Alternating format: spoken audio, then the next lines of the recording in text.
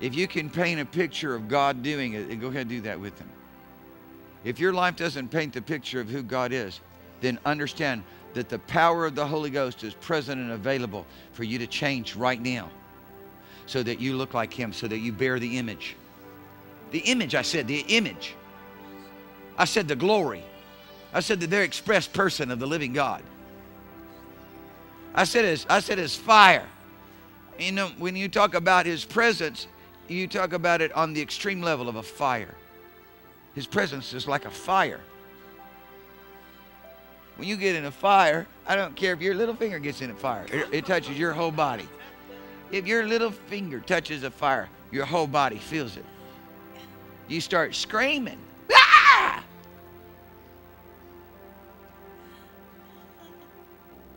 Let God touch you tonight.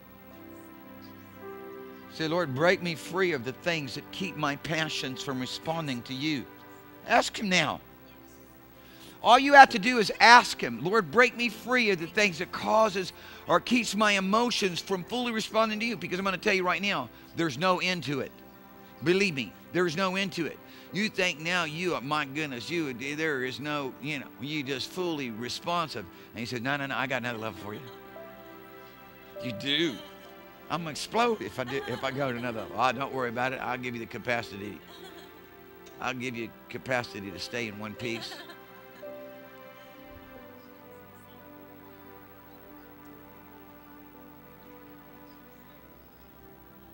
I'm so blessed to be redeemed by the blood of Jesus, to be baptized in the Holy Ghost. But listen to me. I'm not happy with where I'm at in God.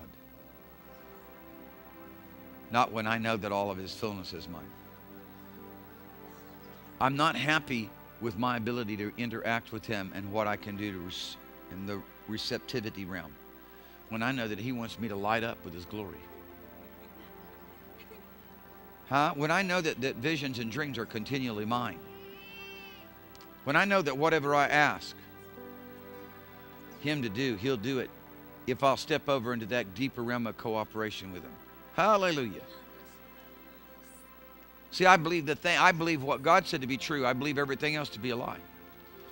I believe everything else is in the category of wrong. Er, God, God is the only one that's in the category of right. And I want in every way to be conformed to the right. So, how does Father do that? He produces hunger on the inside of us to want what He has, and He produces faith on the inside of us to receive it. You hear me now?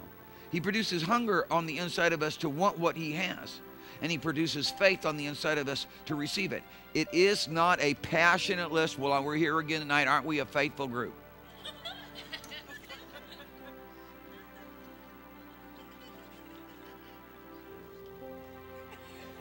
We, I mean, you're, we're here to we're here to move something around, and we're gonna start with you. You could start with you. You move yourself around. Move, pick yourself up and move yourself over into the right place. Hallelujah. If you're in the wrong place, move yourself over in the right place tonight. Your attitudes may be in the wrong place. You can pick yourself and move yourself up over into the right place. What authority! What power!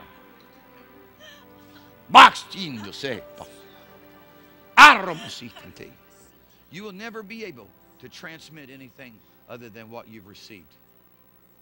And then you get yourself in, you know, you praying God use you and get yourself in a place where people are hungry to receive from heaven. You can't do nothing. Again, they're just standing there waiting, nothing's happening.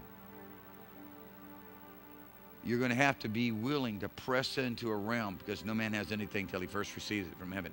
And Father, here tonight wants you receive from Him. And He has an unlimited supply of divine power and glory available to you. You got to want it more than anything else.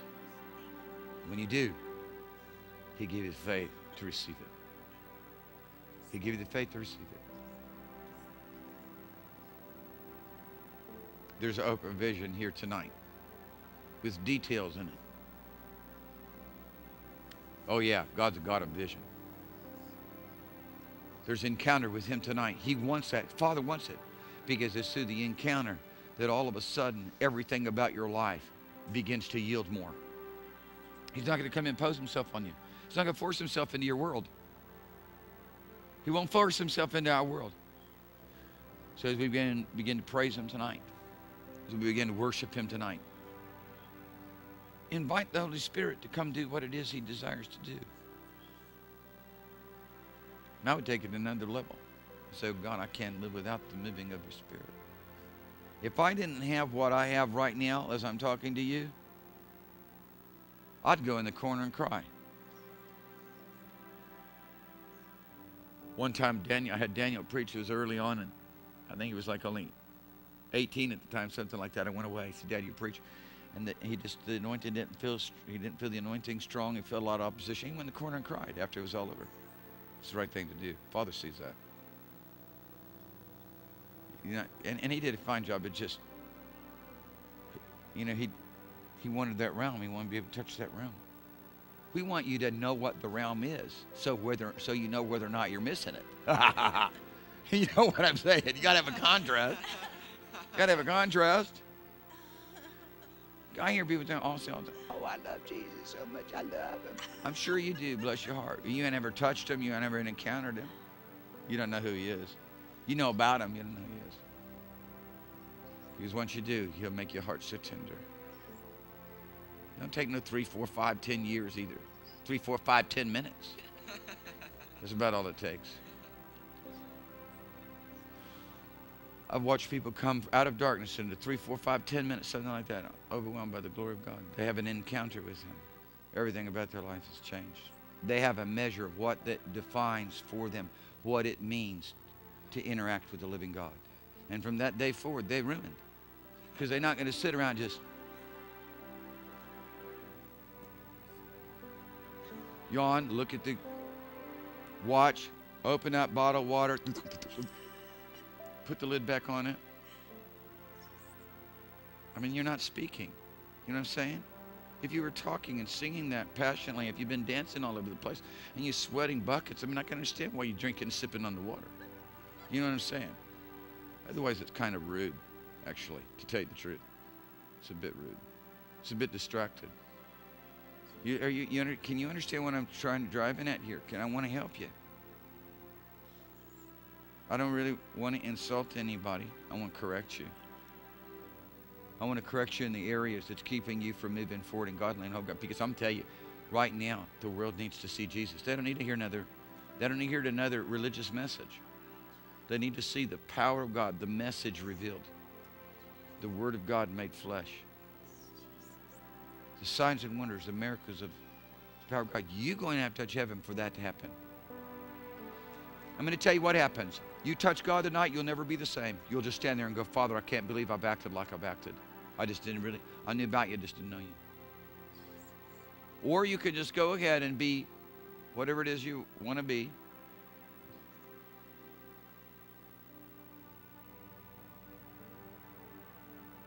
Not with, and, and be absent of an encounter with His glory. and be afflicted by the sorrows of this life and the cares of this world. And always and forever unsatisfied. Because religion cannot satisfy. Not be filled up. When you filled up, you know one, one of the most important, whether one of the most, for me, one of the most important witnesses of being filled up with God. You're so desperate. You're so desperate for more You become so sensitive to him. The slightest little wind of the spirit, your cells are up. uh, you're being blown all over the place.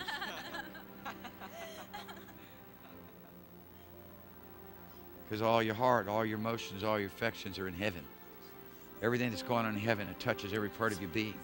There's no part of it that's earthly and part of it heavenly. It's all heavenly. If you give yourself tonight and then from this night forward, to stepping in to the manifest presence of the Lord every day. What's going to happen is that will get stronger and stronger in your life. Then you'll be a carrier of His manifest presence.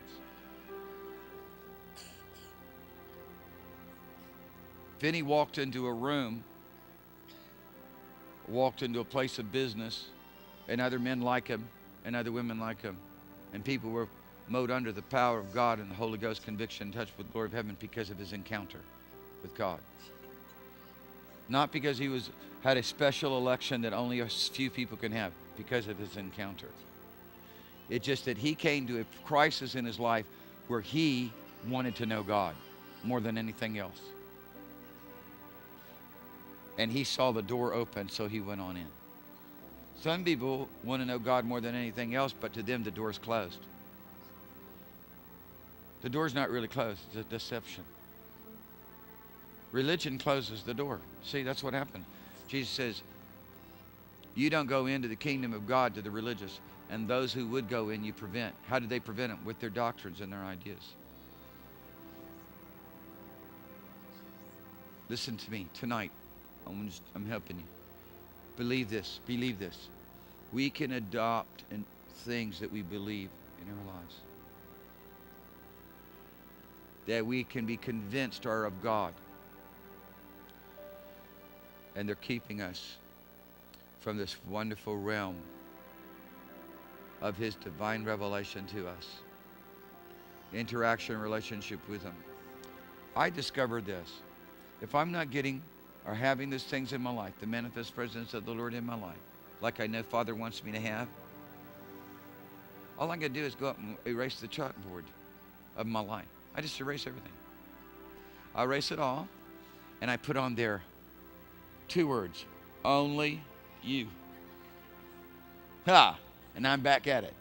Okay? Go ahead and build this out now, Lord. Because that's it. I just want I want your power and your glory to touch me now. I want your power and your glory to touch me now. I want your power and your glory to touch me now. I'm not going to sit silent. I'm not going to have I'm not going to be in the yawning section. I'm going to make a special section probably for churches of America. Like we have the blind section, the deaf section. I'm going to make a yawning section. And everybody on you, you belong in the yawning section. So right back over there. We've got a special ministry to you after the meeting. Just go ahead and yawn, fall asleep. We'll get to you in a little bit.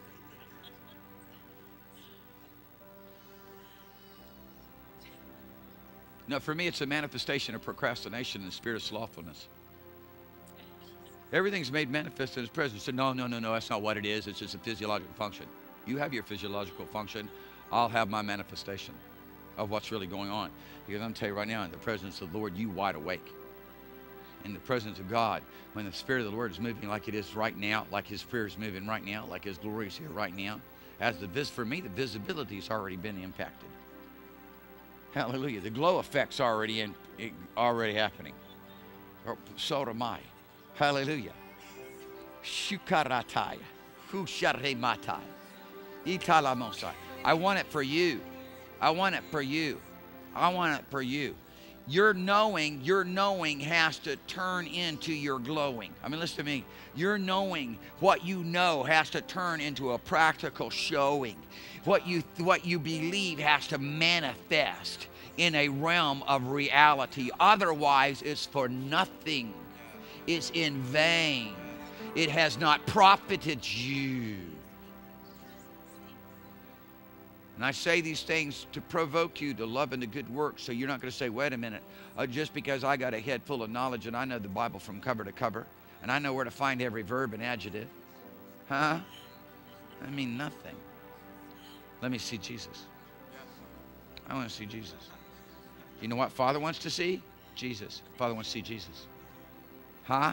You know what Jesus wants to see? Holy Ghost. That's what he wants to see, Holy Ghost. I'm going to give Hallelujah. I'm going, yeah, yeah. Yes, that's exactly what I want, Father. That's exactly what I want, Lord Jesus. Ah, now, whatever, whatever you really want and you're passionate about in God, you can have. It'll be yours overnight. I don't care what it is. It'll be yours overnight. You want to increase in the power of the Holy Ghost where you lay hands on people and they all of a sudden receive the things of the Spirit? As long as your heart's right, not like Simon. As long as your heart's right, you can have it overnight. Hallelujah. Woo. Hallelujah. See, Simon discovered that you could have that power just by the laying on of hands. How many seconds did that take? How many years did that take? Get your hand. Here are the hands coming. Hands coming. Four months later, hands still coming. Two years, hands still coming. No, it's receive. Simon seeing that the power of the Holy Ghost was given by the laying on the hands. He said, lay hand, let, yeah, let me have this power, I'll give you money. So that whomever I lay my hands on, they can receive the same glory. This is what Father has for us tonight. And you don't even get to begin to be a witness of the resurrection until you get this.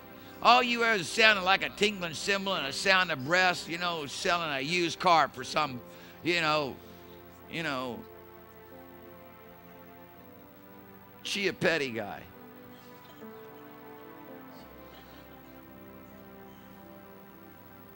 Louis. Louis Chiappetti. And his brother Vinny. And you got a quota, you got a name. Come on. Heaven, let God fill your mouth with praise. So that every word behind it will also have the effect of heaven.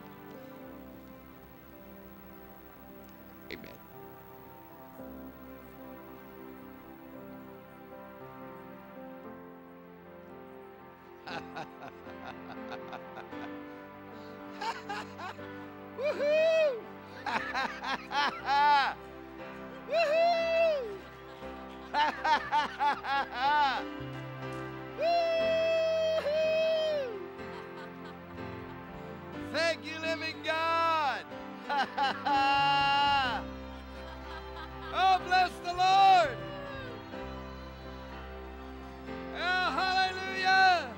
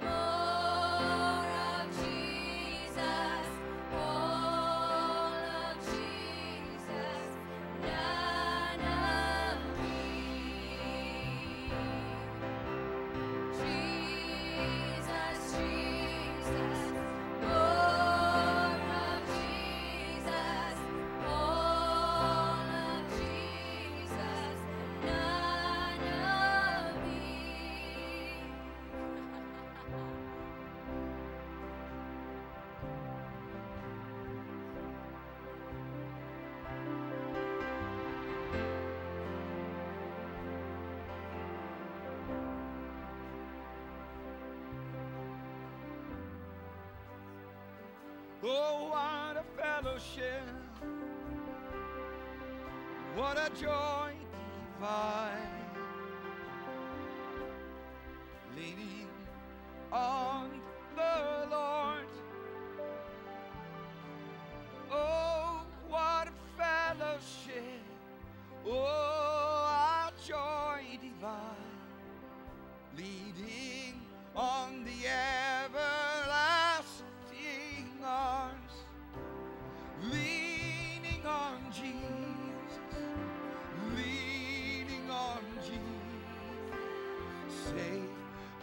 Secure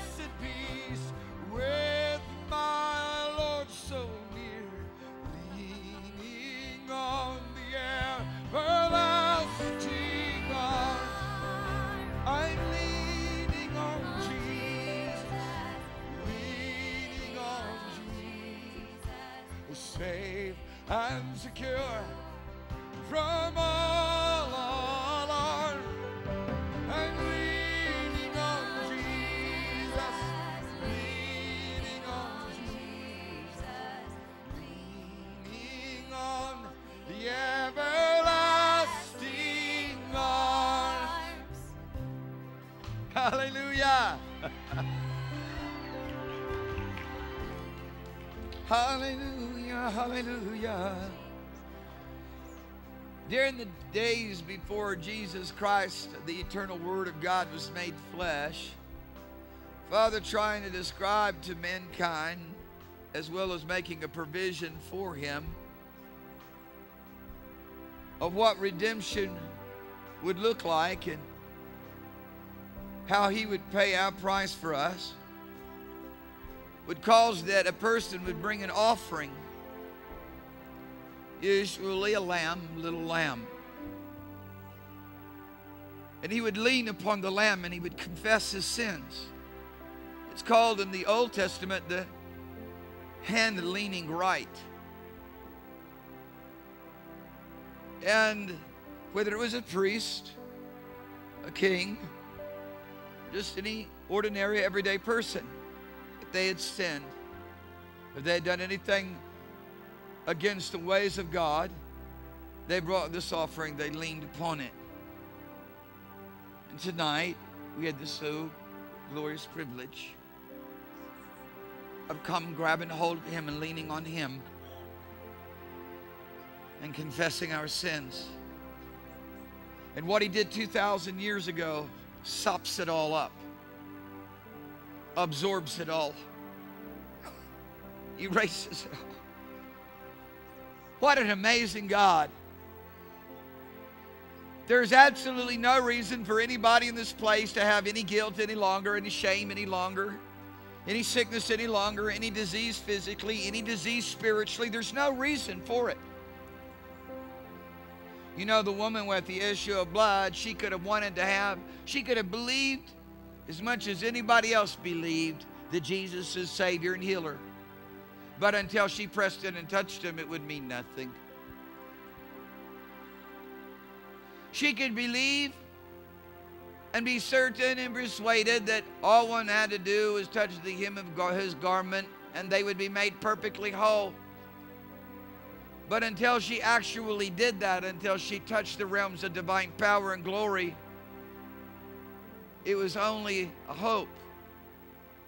It was only maybe even a certainty.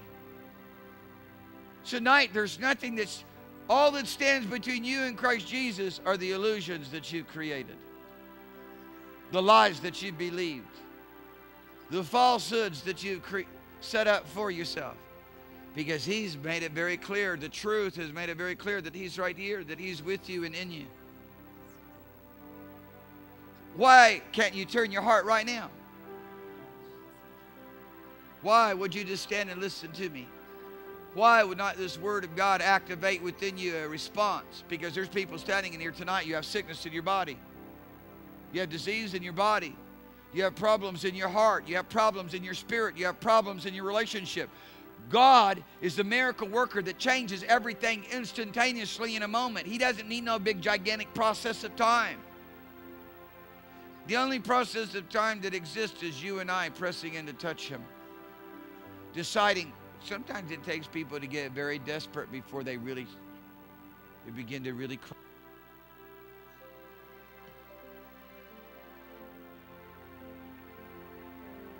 I want you to I want you to be a part of the hand leaning rite. I want you to take whatever that you have need of. I want you to take whatever problems, whatever issue, whatever sin. And I want you to come. I want you to lay hold on your lamb, your offering. There remaineth now no more sacrifice for sin. I want you to take a hold of the provision that God has given, the reality of that provision that's here right now, Christ Jesus.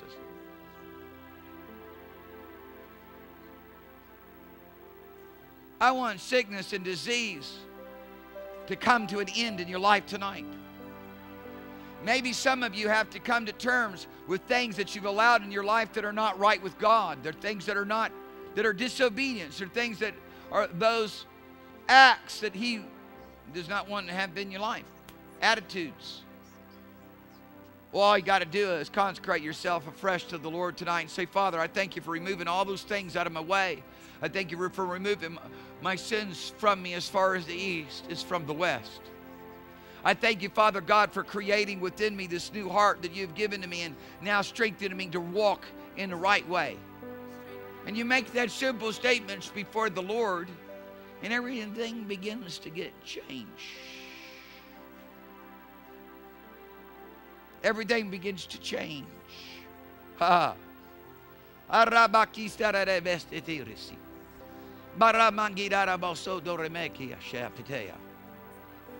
Everything begins to change.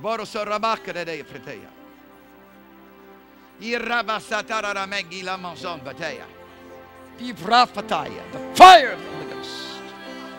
The presence of Jesus. The mighty working of His power right now in Jesus' name. Right now in Jesus. And whatever you have need of, it's yours. Whatever you have need of. Whatever you desire. Whatever you have need of. Whatever you have need of.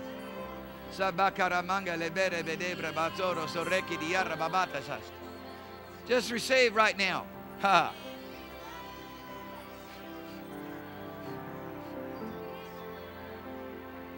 Just receive right now. Just receive right now. Ah, kapaya. Ah, kapaya. Ah, kapaya. Just receive right now. Just receive right now. Just receive right now. Lokara manjazera. Just receive right now. Just receive right now. Zagara. Just receive right now.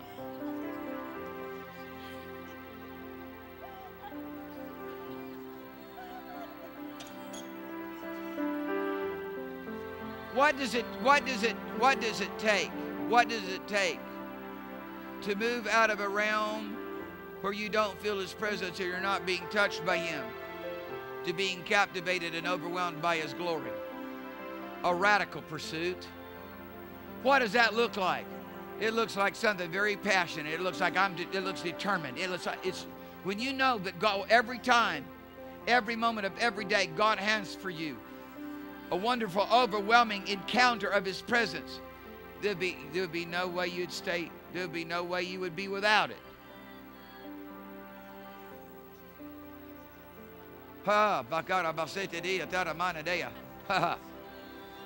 I want you to just begin to worship in the Holy Ghost. I want you just to begin to worship in the Spirit. I want you to begin to basakara mandalaya patara mandaya. Fiata kara shapataya ropa. Ishoto ropa paranea. Ishopa ropa toramaya. Let your glory fill this place, oh God. Let your glory fill this place, oh Lord.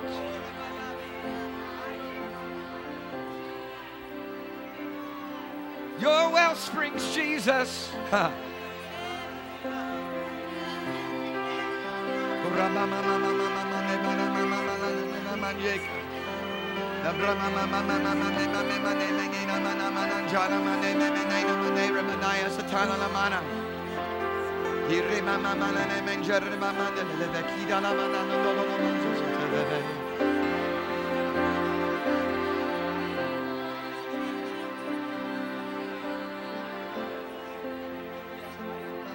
Ibrahim Mama Mangederu.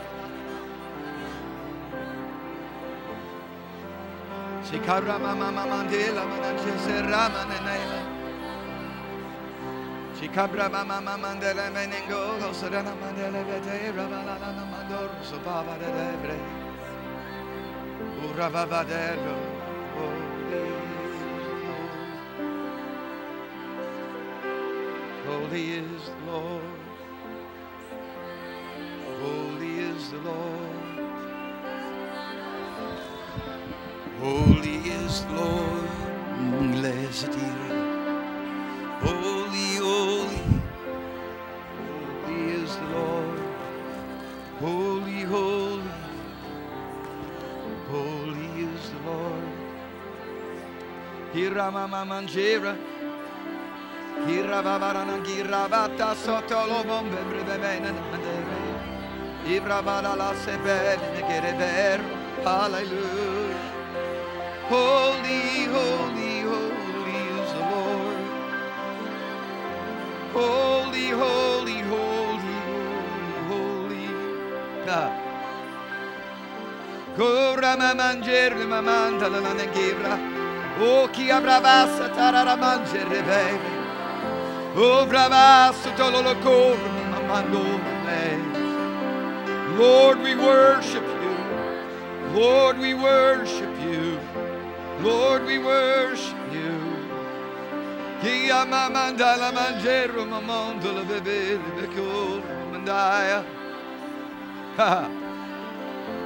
Corro ma mandasso, corro ma membrebeo. Let your rivers flow out, Holy Ghost. Father, let your glory show forth in the midst of your people. Let your power, oh God, be revealed in the midst of your church, oh God. Your glory now, oh God. Your glory now, oh Lord. Your glory now, oh God. Your glory, Lord. Your glory now. Your now, oh God. Your glory. Glory now, oh God.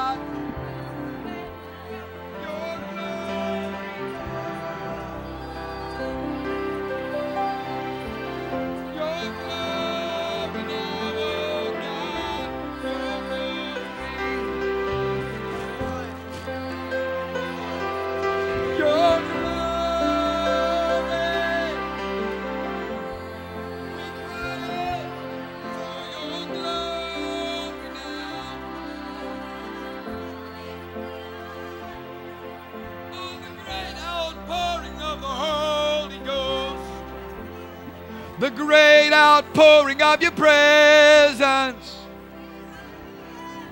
The great outpouring of the Holy Ghost, The great outpouring of your presence. You, just keep lifting up your voice. You keep crying out, I'll sing, you pray. Till you touch heaven. Till heaven touches you. Till the power of God overwhelms your soul. Till the power of God overwhelms your life tonight. Touch heaven. Touch heaven. Touch heaven. Touch heaven. Touch heaven. Touch Jesus. Touch Jesus. Ah. Touch Jesus. Touch Jesus. Let the power of the living God flow out of you right now. Let the anointing flow freely from your life right now.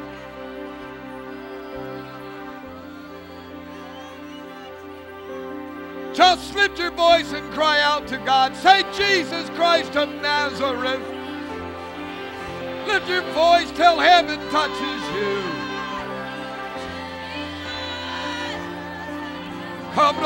Terebe brimo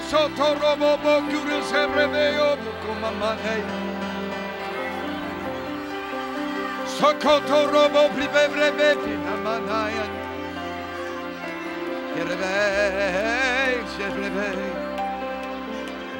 Şerbey, şerbey provo Şerbam la garaba sivrebevi Manglinin Ha ha Kada karati katagira katakare kakiyana kapakaya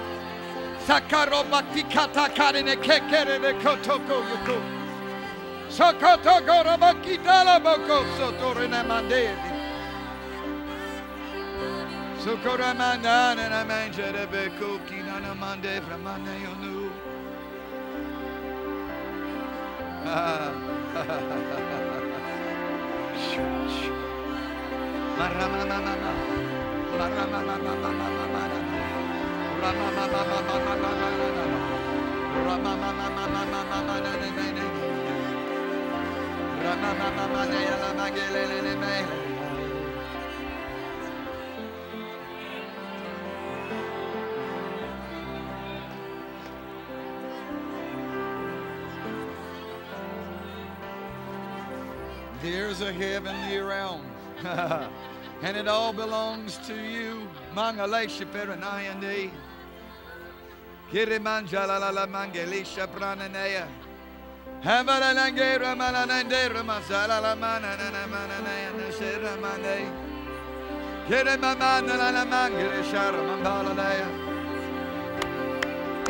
Oh, there's a heavenly realm. Ha ha. And it all belongs to you. Hallelujah. Ah, there's a heavenly realm where the glory of God will rapture you. Hallelujah. Hallelujah. Hallelujah. Hallelujah. There is no reason that anybody be sick or anybody be in with the disease. The only reason is that we don't touch the realm of heaven and then we make all these kinds of doctrines up like God's changed his word or is, is, is willing to allow us to rewrite his word. Say, well, God doesn't always heal and healing, blah, blah, blah, and a bunch of nonsense. And reality of it is, is that we've not been willing to be led by the Holy Ghost into his presence. If we're willing to be led by the Holy Ghost into his presence, if we're willing to be, really just stand up and say, no, no, no, I'm not going to be without the things that God has provided. The woman with an issue of blood had all the reasons. If you want an excuse and you want doctrine, she had all the reasons and all the doctrines not to touch Jesus. Number one, she had an issue of blood, and so the Word of God said that she was not allowed to be in the camp. And nobody was able to touch her, and if she touched anybody or they touched her, they were made unclean. And she was actually in a position that she could potentially even be stoned for subjugating everybody to uncleanness. Did that doctrine stop her? Then, furthermore, she was 18 years in the condition, spent all the money that she had, so she didn't have any money to get to the meeting in the first place. Did that stop her? No. And then, besides that, when she got there where she's so weak, how is she supposed to ever get anywhere near him? Because all these strong people around him, this great crowd of people around him, how is, he, she even supposed to get anywhere near him? What, she doesn't have a pass to sit on the front row? There is not a sick, sec- six section. She got to crawl on her hands and knees, work her way through the feet. She got to be kicked around a bit. She had every excuse that there can imagine. She had every reason that she could imagine. But she decided she didn't want to be sick and diseased anymore. She wanted to touch the realm and the source of divine health, the divine healing. People, we are willing to accommodate things that God has already remedied and cured. And people want to start feeling all bad about themselves because they don't have it. Would you please? Will you just get as much of a gumption as the woman with the issue of blood had? Would you get enough realm of faith that she wasn't baptized in the Holy Ghost? She didn't have all of this divine power and ability at work in her life that, that you have, these Pentecostal people have in your life. And she took a little bit and did so much more than so many people do today. They just accommodate things, they settle out with things, they make peace agreements with them. Sickness, with disease, with sin, with iniquity, with wrong attitudes, wrong feelings, things that are not heavenly. Father wants us to have days of heaven upon the earth. He wants us to live in the realms of heaven. In the Old Testament, Deuteronomy chapter 11, he said, just obey my word and you'll have days of heaven upon the earth. Now, he makes it even better. Just says, walk in the Spirit. Be filled with the Holy Ghost.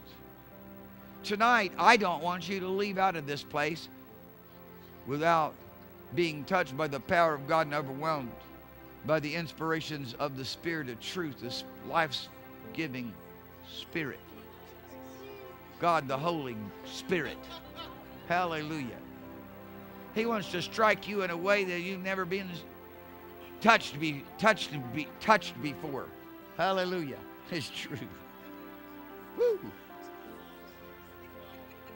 And when, when that happens, you have feelings that you never had before. You have experienced emotions, joy that you never had before, love that you have never had before. It is amazing to me. Religious people sit in the seat of religion with, with, with, with stubbornness and rebellion and, and unwillingness to hear God, but yet they'll doctrinally say, oh, the fullness of God, oh, yeah, all the love of God's available for us. And then they, they live it in a thimbleful. Why? If you believe that all the love of God's available for you, then why don't you press it and take hold of it? Because obviously you don't believe.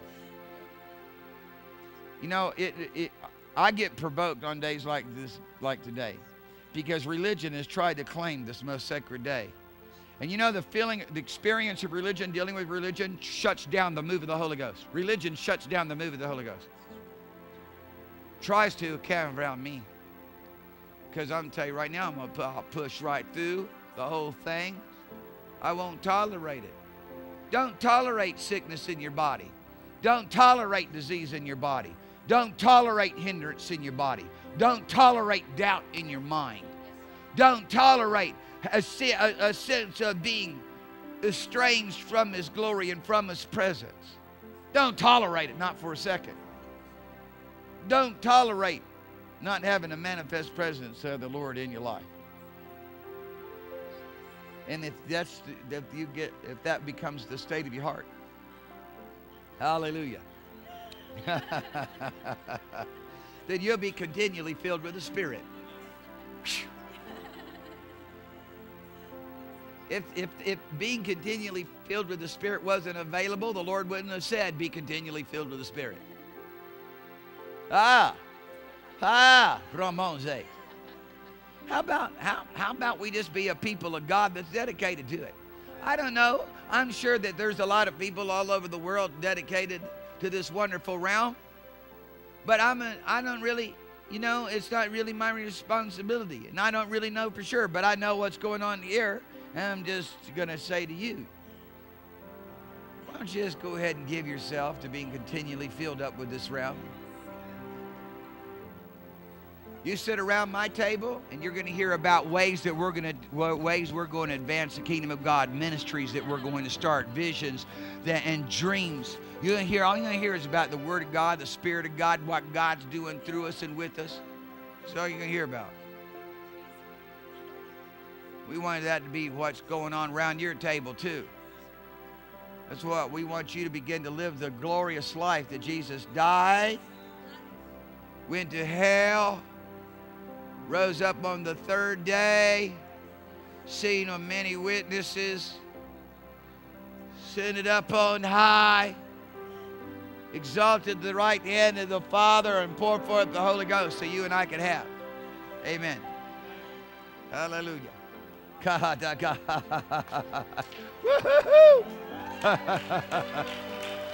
Hallelujah. Jesus, Jesus, Jesus. Jesus, Jesus. Just sing. I want you to sing that one more time. Jesus, Jesus. More of you, Lord Jesus. All of you and none of me. Jesus, Jesus, more of Jesus, all of Jesus, none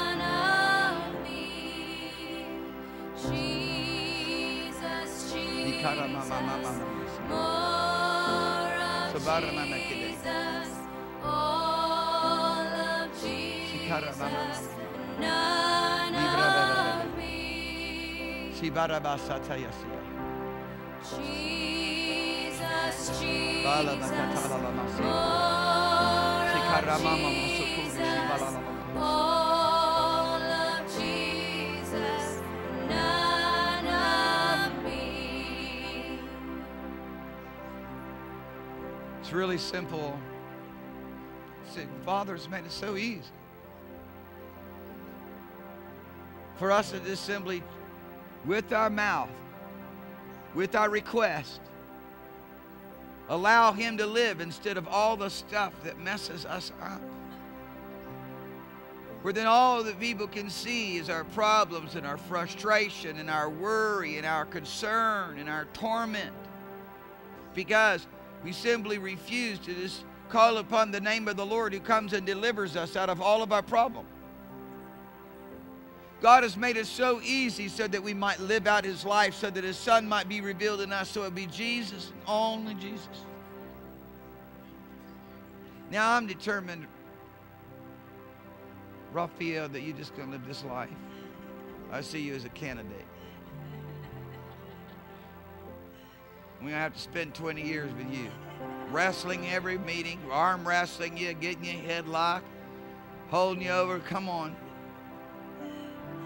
Missed opportunity to get you talked into just letting God live. It's time, man. It's time that people begin to just step into what God has freely given. Quit hanging out in the court of the Gentiles. Come on in. Ah, hallelujah. Looking away off, far away. Oh, separa de rasita, sedea lobo konamai. Those of you who've lived that life, those of you who've been just so caught up in yourself, you can't break out. Tonight, why don't you break out? So, those of you just been so imprisoned by your own emotion, by your own circumstance. Those of you that have been imprisoned by things that have come out against you, whether it's been sin or sickness or disease, tonight, why don't you break out and get liberated and go ahead and go to heaven?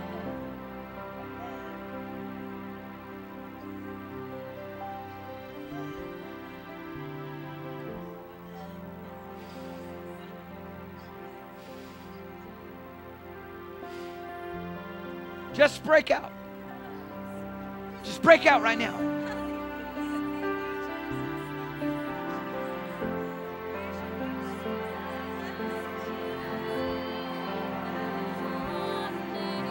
Break out of that realm of doubt and unbelief.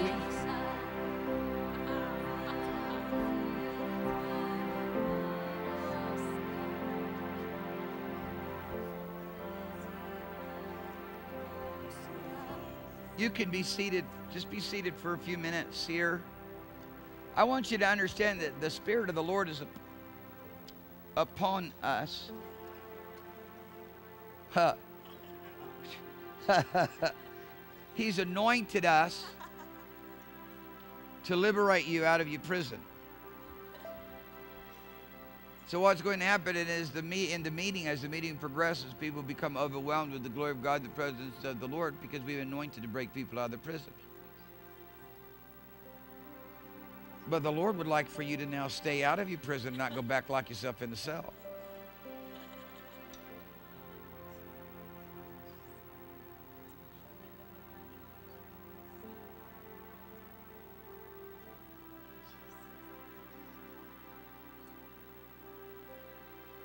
Tonight, we would like for you to compare and contrast yourself with Jesus. Tonight, we would like you to look at the attitudes that are going on in your life and see if those attitudes are going on in Jesus' life.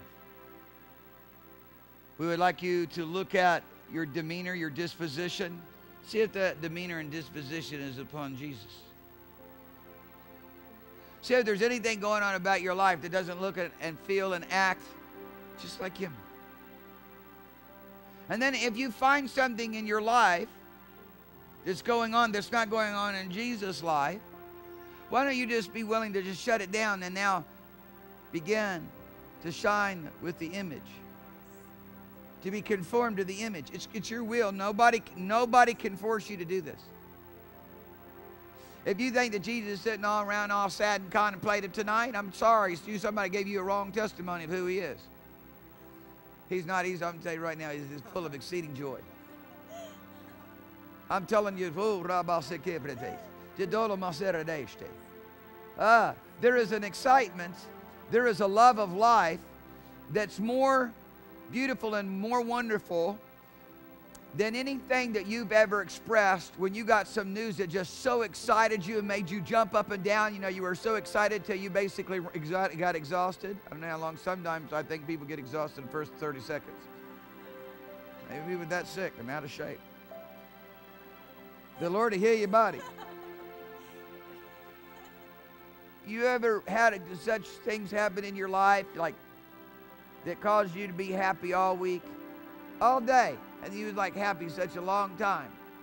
And then all of a sudden, some other circumstance came along, and now it had imposed its issues upon you. Now you back you're back to being sad or not quite as happy and, and giddy. I tell you, there is in His presence is fullness of joy. There is a walk with God to where that that happy, that place of happy, that place of just so excited just everything's working out perfectly. It's awesome. Remember that time, that day, that event where you know the things were coming your way and you knew you were going to have provision for everything and the and the and the and the and the pathway forward and the future was all clear and it was all good and there was no more reason to be concerned or worried because now everything has come into place you remember how gloriously wonderful you felt how confident you were God has something greater for you than that. And it's not based upon any circumstance. It is called walking in the Spirit and living in the Spirit and being filled with the Spirit. Because God the Holy Ghost brings heaven to us. What happens is people step into, into a move of God and they have this, this first love and they have this joy and they have this excitement for the first while of their walk with the Lord. And then they either begin to get infected literally infected, not affected, but infected by religion, by ideas, or they become overwhelmed by circumstances or situations, disappointments, and they become imprisoned by that. And it locks them away from the things that God has for them.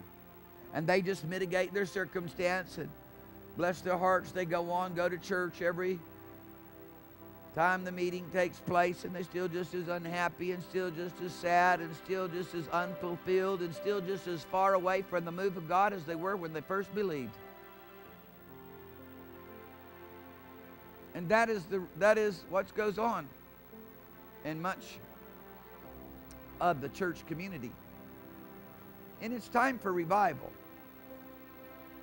It's time for a, re, a returning. You see, before there is a revival, there has to be a turning back to God.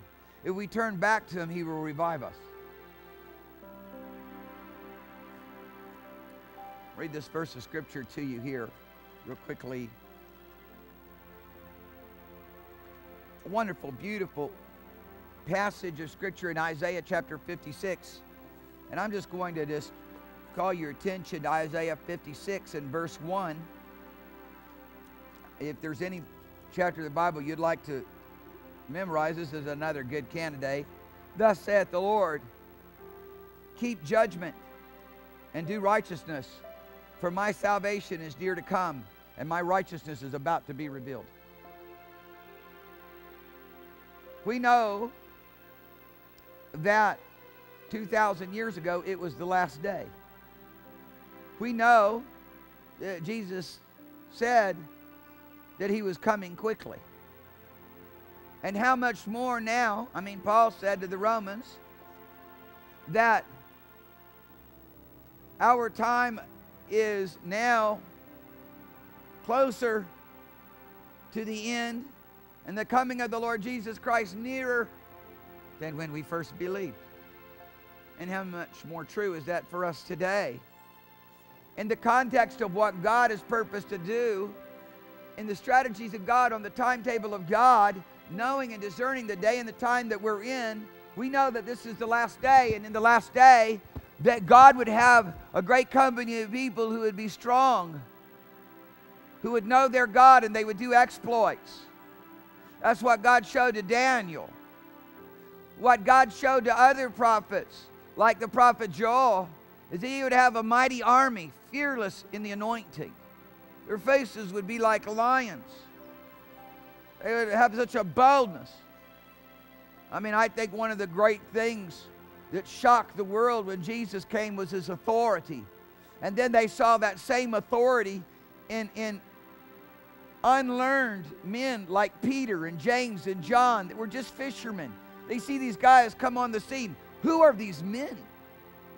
With such authority. They have an authority that goes beyond the look of a king and the most wealthiest men in the, in the, in the earth. Well, they were struck by the anointing. Can you imagine that there is an opportunity tonight to be willing to respond to the Holy Ghost and come over into a realm with Him, which we would call, or the Word of God would call, a consecrated realm, where He would do through us more than He did through Daniel in the days of Daniel, that He would do more in, in our lives more than He did in the days of Paul. Uh, to recognize that Father has an authority that we can walk in that is His own authority. How big is that? How glorious is that? When we think about walking in an authority, we have to, we have to begin to consider the ramifications of what that means and the dimensions by, in which that may be confined or unlimited or uncontained. And especially when we begin to consider that the Lord Jesus Christ has all authority in heaven and earth. That his authority is above all principalities and powers and might and dominion. And that he has given to us that authority, and Father expects us to walk in it, but yet we're imprisoned by all the stuff the Bible said we would be imprisoned by if we didn't listen to him, and we have the fruits that we are imprisoned. Because the Lord made it very clear what we were going to do, have to do if we were going to get His results. And religions will religion will confine you to a place of not having the results, but self-justifying your condition. Religion will confine you to a place of not having the results, but will self-justify you where you're at. Don't let deception have impact on you because we're in the last days. We know that God's got a mighty army that He's raising up. Those who walk around in the precious fruit that the husbandman has long patience for, as James described. A description of a glorious church. And glorious can only be defined by His glory. A glorious church can only be defined by the full manifestation of the person Jesus Christ. You can't have a glorious church because it is a, you know, is made of spectacular stone, because it has expensive wall coverings and floor coverings and furnishings. It's glorious because the power and the dimensions of heaven filled the place. It's beautified with all those things that belong to those who are part of the family of God that flow naturally from us. The gifts of healing. My, if we have them to give, oh, then there's plenty for us to, to partake of while we're giving them out. So thus we get to live in divine health and never have to have a day of sickness. The world, the church has drifted far into the world and they're blind in the darkness of the world and can't see all that God has freely given to us as He's made us heirs, His heirs and co inheritors with Jesus. That's not something that's just in the future, that's something that's right now. But you're going to have to believe the good word of God and you're going to have to lay hold on it and all these things. You see, you got too many other alternatives. You got so many things stacked up alongside God. I can say to the Hindus in Nepal, I can say you can have no gods alongside of Jesus. You got to throw them all away. You got to cast them all away and take Jesus alone. They know exactly what I mean. Because they bow down and they worship those deities made of stone and plaster. But in the Western world, people can't see. They've exalted all kinds of things within their life that is keeping them from the purity of interacting with the one who shaped us, who created us and shaped us and breathed into us and made us a living being and then redeemed us with his own blood and baptized us in his own glory. Ah. Now see, I'm part of the church. And I demand to have the fruit of the church. Thus, I will always prophesy in the meeting. Always. If I said in a meeting and didn't prophesy, I'd, I would have to confess I'm backslidden. I'm away from the Holy Ghost. I have lost my place in God. Because the Word of God talks about how that in the last days He'll pour out His Spirit upon all flesh and you would prophesy. And your sons and your daughters would prophesy. When Ruthiana was born, she would be our last one, and we did exactly with her what we did with the others. We said, Lord, let her your anointing come upon her that she may prophesy. Anoint her. Hmm? God anointed her. Then everybody who touched her in a wrong way lost the anointing and never going to get it back. Or they, they, they isolate themselves from the anointing and can never have it till they repent. And so it is. And it's multiplied again and again. Not only with, I'm just using Ruth Ann as an exa- example because she's least in my family. Huh? Because he's a baby. And the baby's getting married.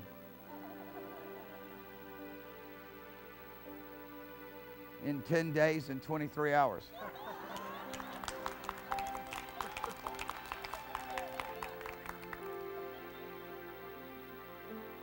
Twenty-four minutes, thirteen seconds.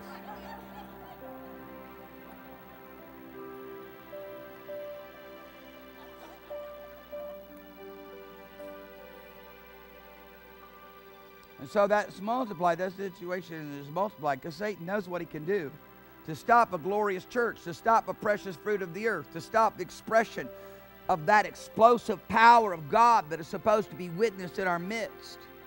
And we have too many affections going on inside affections for houses, affections for land, affections for cars, affections for relationships around us that we've exalted even above God, affections for food, affection for finer things, affection for gold, for money, for bank accounts. They all play on us. And so if there's something messed up, it jerks our emotions right over into its realm. And we're completely out of, out, out, out of pocket, if you would, or out of connectivity with the Holy Ghost.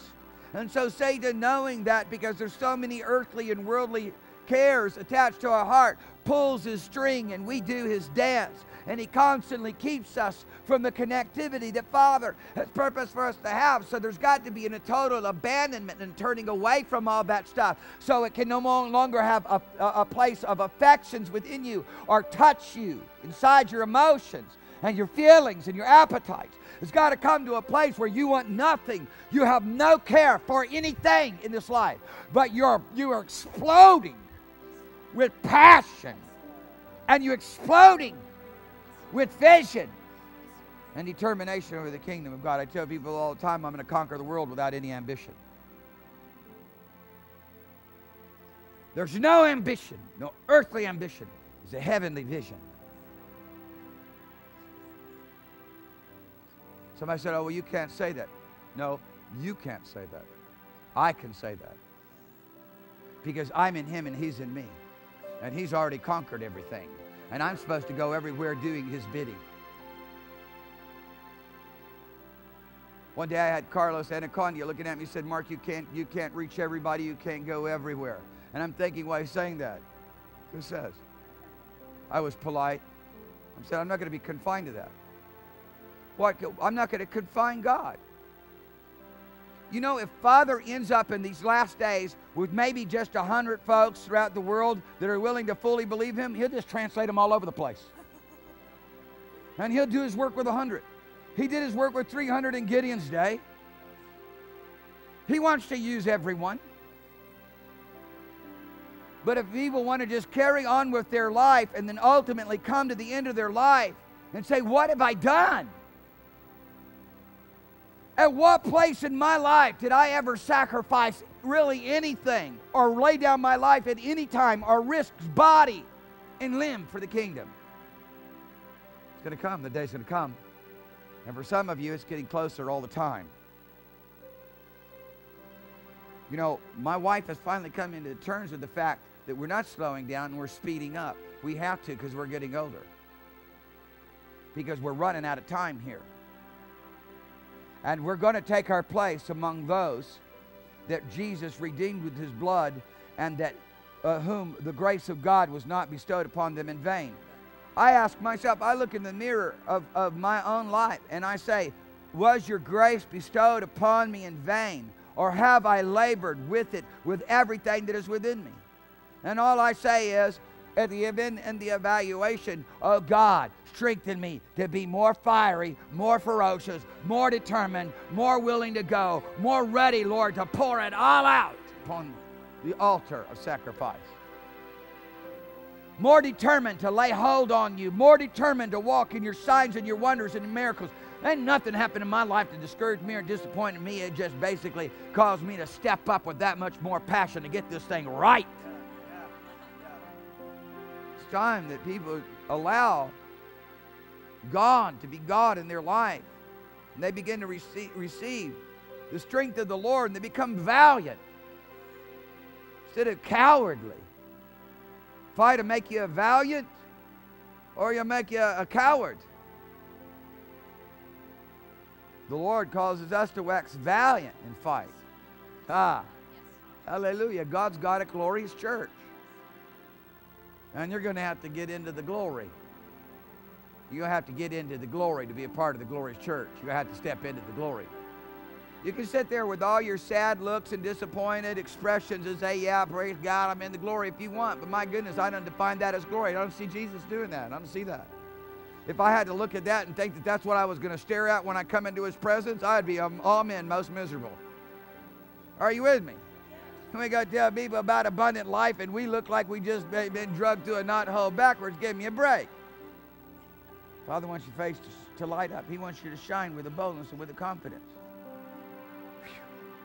He wants you to come to them with the person, the ans- with, the, with the answers that their heart's been longing for. I guarantee you start doing that, you're going to start getting souls. You're going to start getting souls. You know, I look at the people in this church that are that have I I monitor how many people how many souls people reach. I do. I'm a pastor. I monitor how fruitful you are. Ruth Anna is one of the biggest soul winners in this church. I can name you. I can name you. I, am just talking about different people here tonight, but I'm gonna focus on her. She's one of the biggest soul winners in the place. She reaches more people. She brought more people in the church, the state of the church. And yet, what will happen, and I'm going to use this example, what will happen is Satan will make her a target of disgust and ridicule. That's what it always does. That's being multiplied again and again in the church. I'm just saying. That's Satan's strategy to shut down everything that is living, everything that is active, everything that is viable, everything that has a holy contagion. He runs interference. He creates things that don't even exist. And only people in the pride of their life and in the pride and the arrogancy of their own thinking can believe the lie. Because if you walk in humility and brokenness before God as servants one to another, you'd never believe such a lie. You'd never hear such an evil report. You'd be so connected. Even when people are weak and don't do anything and they're still too spiritually weak to bring forth the reproductive organs are still undeveloped in the spirit. God's got a miracle for you.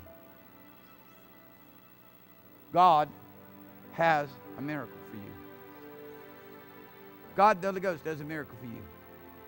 And it begins with a miracle of relationship with Him. It begins with a miracle of such revelation that you know He's here. Whoa. Father, I just thank you so much for your presence. I thank you so much for your glory. I thank you so much for your anointing. I thank you for this fellowship. And then where, what happens is that becomes an outworking. One day, let's talk about baby here for a while. After Sunday night service, I believe it was, or Wednesday night service, she was out warming up for track and she just humming a song, worship song. All of a sudden, a girl ran over and bit her twice on the arm. And then the girl goes, Forgive me. Well, I don't know what happened to me. I don't know what came over me.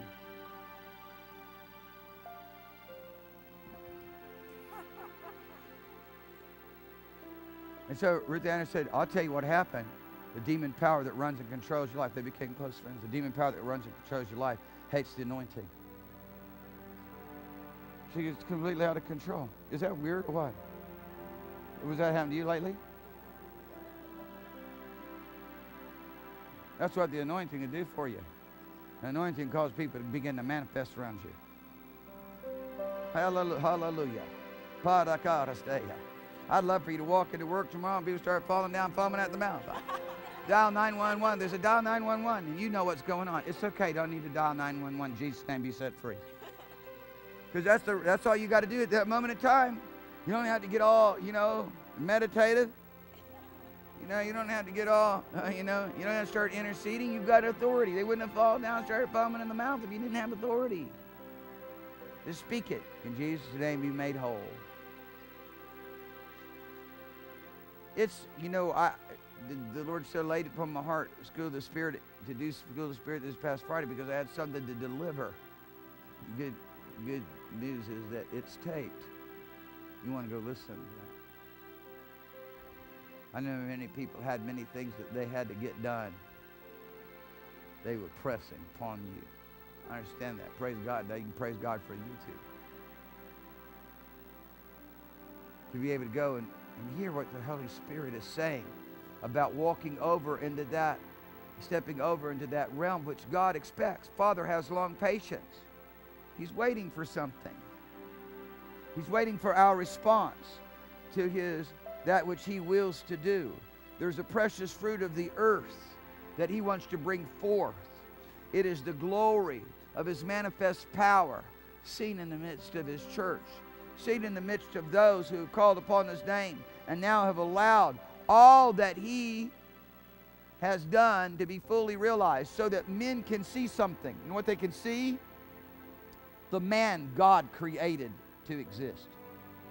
Listen, the man that God created to exist was manifested in the man Christ Jesus.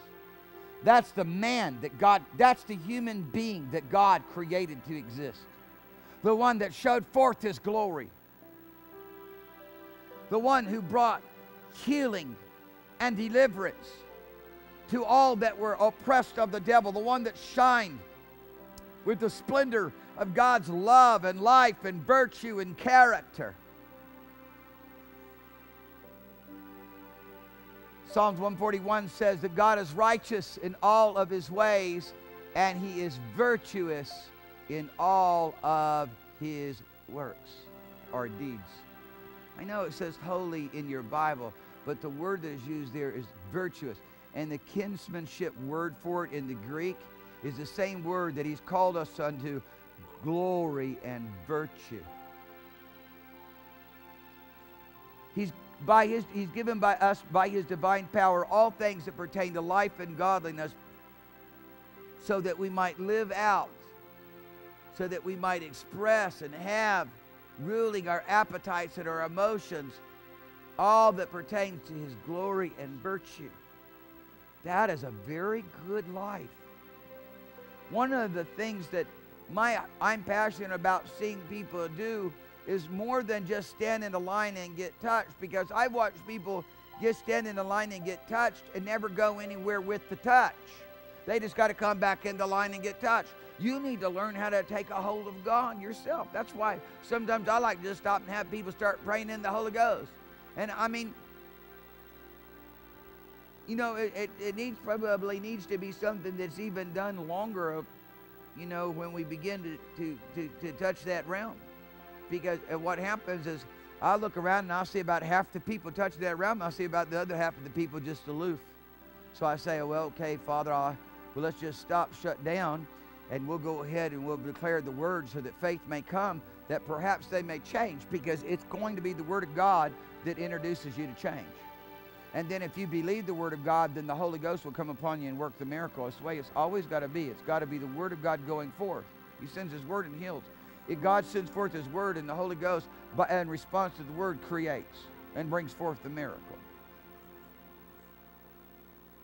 You know, if there's anything that you need to begin to do, is you need to begin to participate with a culture of touching heaven. And that's going to begin right in the church, not you just sitting back, hanging out in your little chair. I need to check some of your chairs. My chairs don't have, is not a little cage It confines me away from the Holy Ghost. But maybe some of you guys' chairs are just there's a problematic chair. Maybe it's a possessed chair. I need to check your chair, see if there's an eject button somewhere. So that you'll begin to move up towards the front. You'll begin to come, you, don't just stand back and and just be willing to be without the move of God. Because you can't tell me it's an expression of the move of God. You can't tell me that Blake lifeless stare is an expression of the move of God. You can't just tell me a, a, a hallelujah and a shake is an expression of the move of God. It's far deeper than that. I don't mind if it starts that way. I think it'd be better for it to be a hot dog and a shake.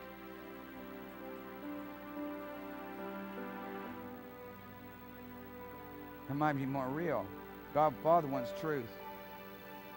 He, Jesus died at Calvary's cross so that we might be able to come out of the world, come out of the influences of the world, come out of the influences of a human existence over into the realm of the divine glory of the only begotten Son. I want you to get the contrast because I don't think you got it. I think you think that God, Jesus Christ, died for us at Calvary so that he could bring us out of the realms of the world over into religion, over into some ritual, some knowledge.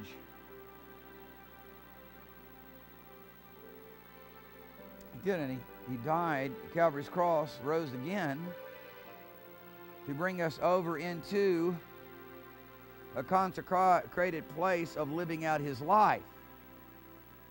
So that now being consecrated to live out his life, I'm not going to be without it, number one. Number one, Father's not going to allow me to be without it when I'm that sincere about it. When I want the things that come from heaven, I'm not interested in that which is earthly. I'm not interested in the things that I can gain for myself and have for myself. I'm not interested in championing my own ideas. I'm not interested in whether or not people treated me the way I wanted to be treated or they I felt they needed to treat me about. I'm not interested about what somebody said about me or didn't say about me. That's, that's of no effect upon my life. I'm not living like that. That's a monkey trap. In fact, I say it again, it's living the life of a monkey. It is unbridled passion. It's true. It's unbridled passions. Is, is consumed with self-interest. And self-interest is a demonic thing, can be a demonic thing. It's definitely going to be paved the way for demonic things. It's definitely a realm that God demands to be denied. It, it cannot be, as long as it exists, that His glory cannot be made manifest in our life.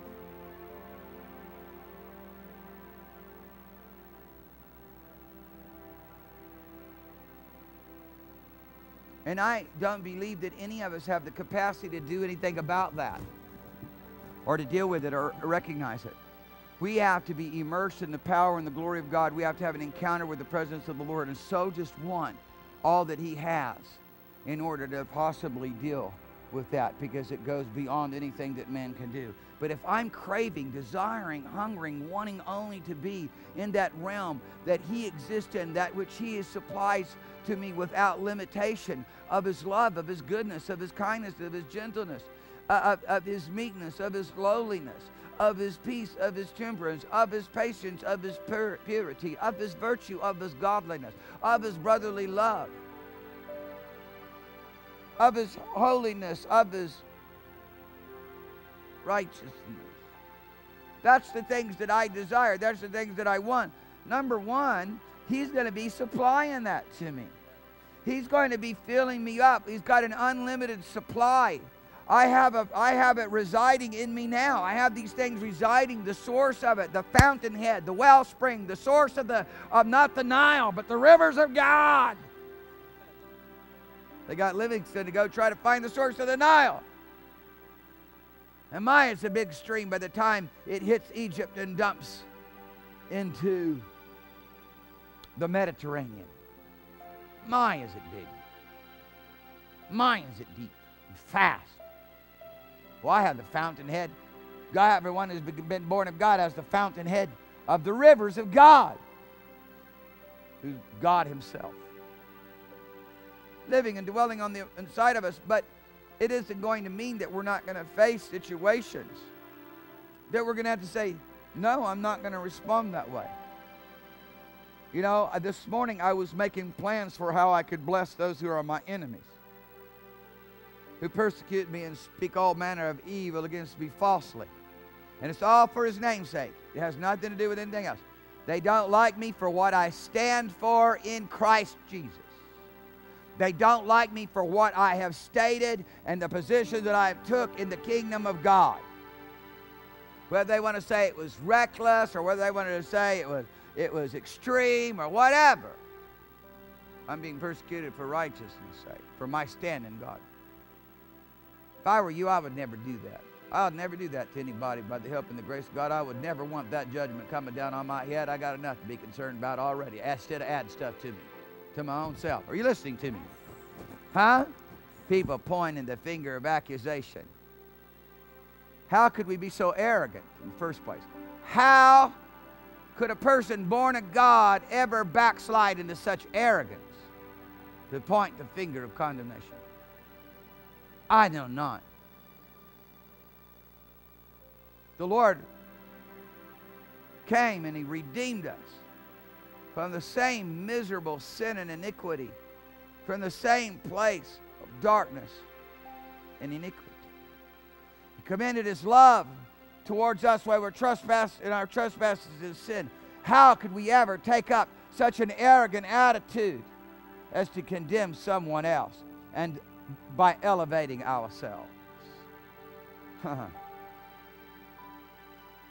God in the new nature gave us meekness and lowliness. Tonight, my purpose and my call is I just want the name of Jesus Christ to be glorified. I know his name is going to be glorified in the midst of his people. There needs to be a response of his people of love and compassion and desperation and hunger and thirsting and saying, I want you more than anything else, Lord. And when that's going on in your life, you're going to have it. When that's not going on in your life, you're not going to have it. And you know, listen there, people. There can be folks that are just like they. I, I'm I'm non-religious people. They just religious, just religious.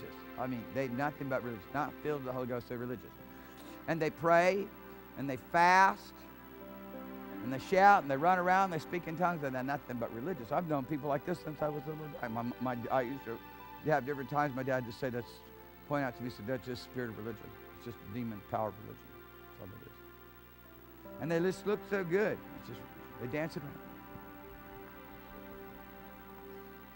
Just religion. And reality of it is, if they would have just stopped for just a moment, they would have recognized they had unforgiveness in the heart. If they would have just, recon- just stopped, they'd have recognized they have things going on in their mind and their affections that have nothing to do with the spirit of the holiness, with God's nature or God's character. They got attitudes and expressions coming out of their mouth that have nothing to do with the kingdom of God with the Lord Jesus Christ.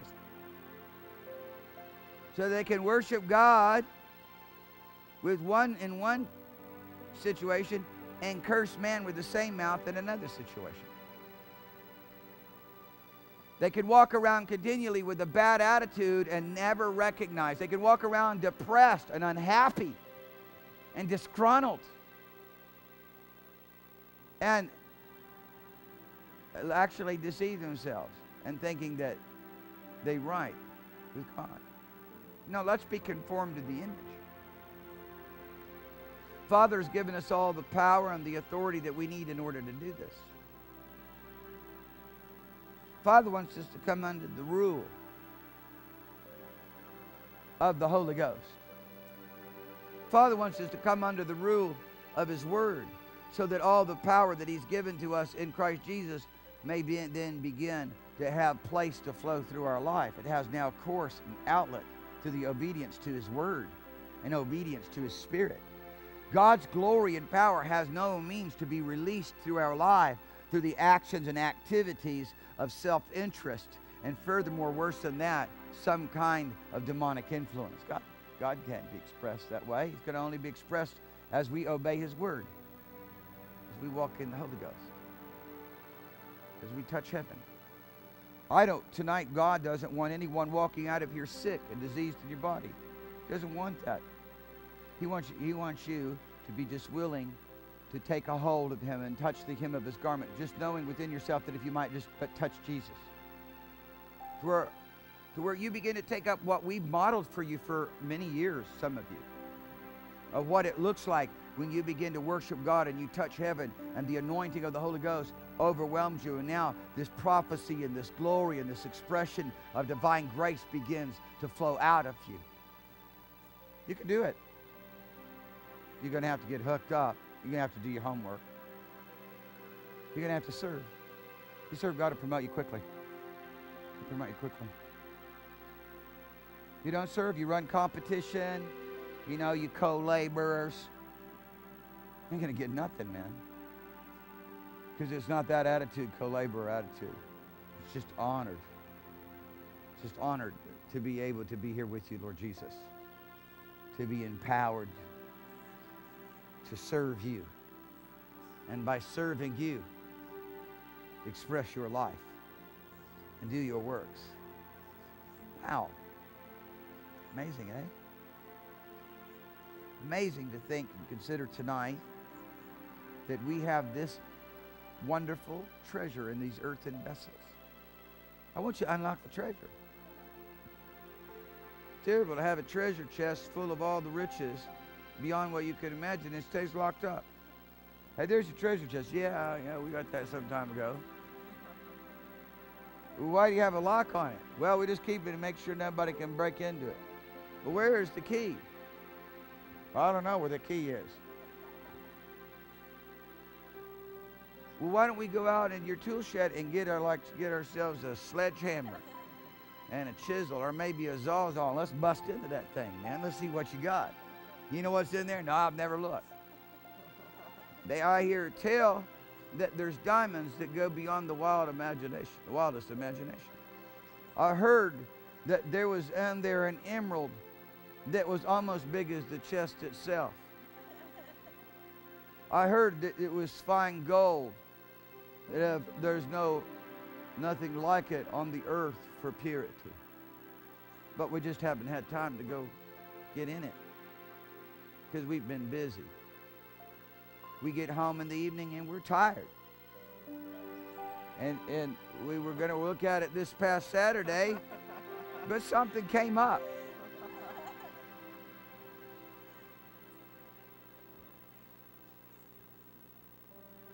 You have a treasure in these earthen vessels. You need to unlock that. You need to begin to participate with it. You need to understand how those things are activated, how those things are released.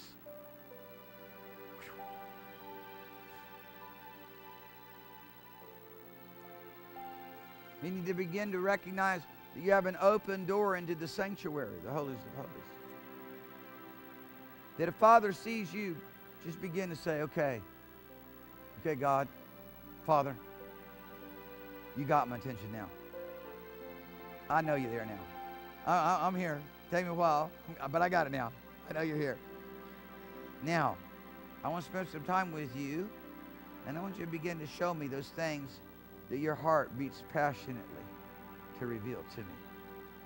I want to begin to interact with you now, God, in the dimensions of sonship. I want you to show me. I want you to speak to me right now. I want you to touch me in such a way that I know it's you. And then I, and then I, I want you to begin to train my passions, my appetites, and my heart, my spirit to be sensitive to you, to respond to you. Begin to talk to Father like that, and something's going to happen.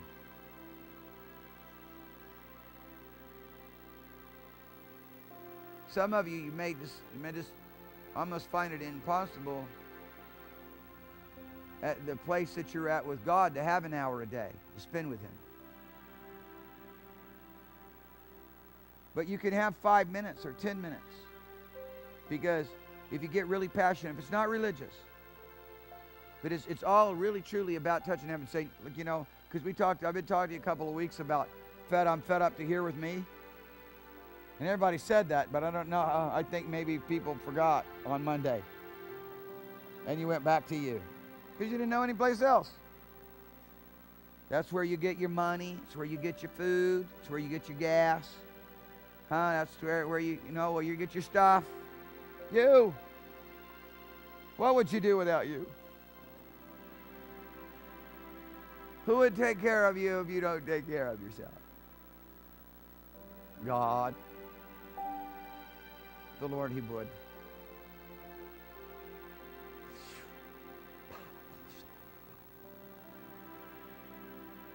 So you can start with five minutes, ten minutes. How many of you commute? You're in your car. You drive. You drive to work. That's for many people. That's going to be more than ten minutes. Don't stare out the window. Pray in the Holy Ghost till you touch heaven.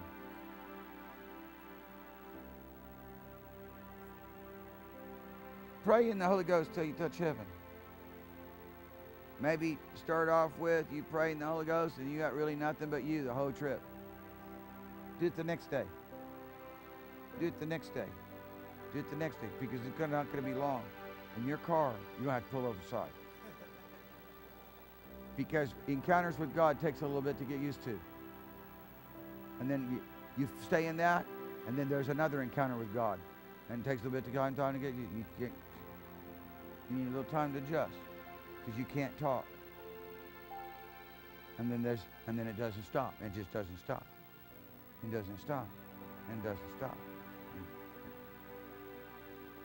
and we go from glory to glory. We go from an encounter to encounter. We keep maturing in the things. The Spirit, Father, enlarges our heart with a greater capacity to receive more. Because we are receive more. All of our last names should be receive more.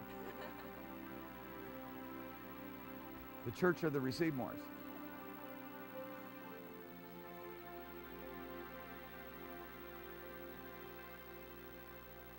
So I know what Father wants. He wants the precious fruit of the earth. I know what the precious fruit of the earth that James is talking about in James chapter 5. I know what that is. That's the glorious manifested power of Jesus Christ revealed in you and me. The earth groans, Paul said in Romans chapter 8, that the earth groans and travails even until now, waiting for the adoption to make a manifestation, or rather, really, for the sonship to manifest in our lives as the sons of God, as full sonship. to see the redemption that we have received from Christ Jesus. I mean, I said it wrong. To see the redemption that we have received in Christ Jesus result in the manifested sons sonship authority that has been given to us. As many as believed, he gave them the authority to be the sons of God. Everyone who would receive. Everyone who would receive. Ha. Oh, what manner of love the Father has bestowed upon us that we should be called the sons of God. Beloved, now are we the sons of God. Now. Right now. And because as these sons, we're not just any kind of sons, we're those that, we're the sons that are going to see him as he is, for we shall be like him. Thus, we live these consecrated lives because we have this hope. We purify ourselves even as he is pure. We don't want anything to do with any of the any of the stuff that would grieve the Holy Ghost or be contrary to the image and the nature of the Lord Jesus. We give ourselves to be conformed to the image of the Son. And we recognize that Jesus Christ is the express image of the person of the Father, who now upholds all things with the word of his power.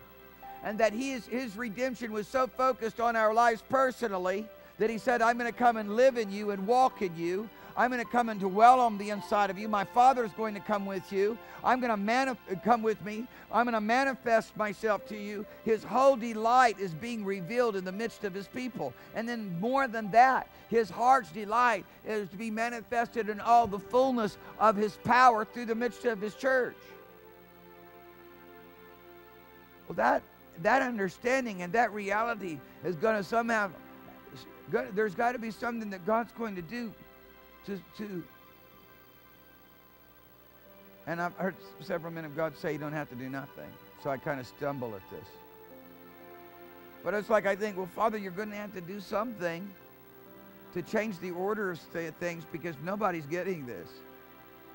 Or very few people are getting this. So how are you going to have a glorious church that you've described in your word. I'm not talking about the glorious church or a church definition that you have from some denomination. I'm talking about what God described in his word.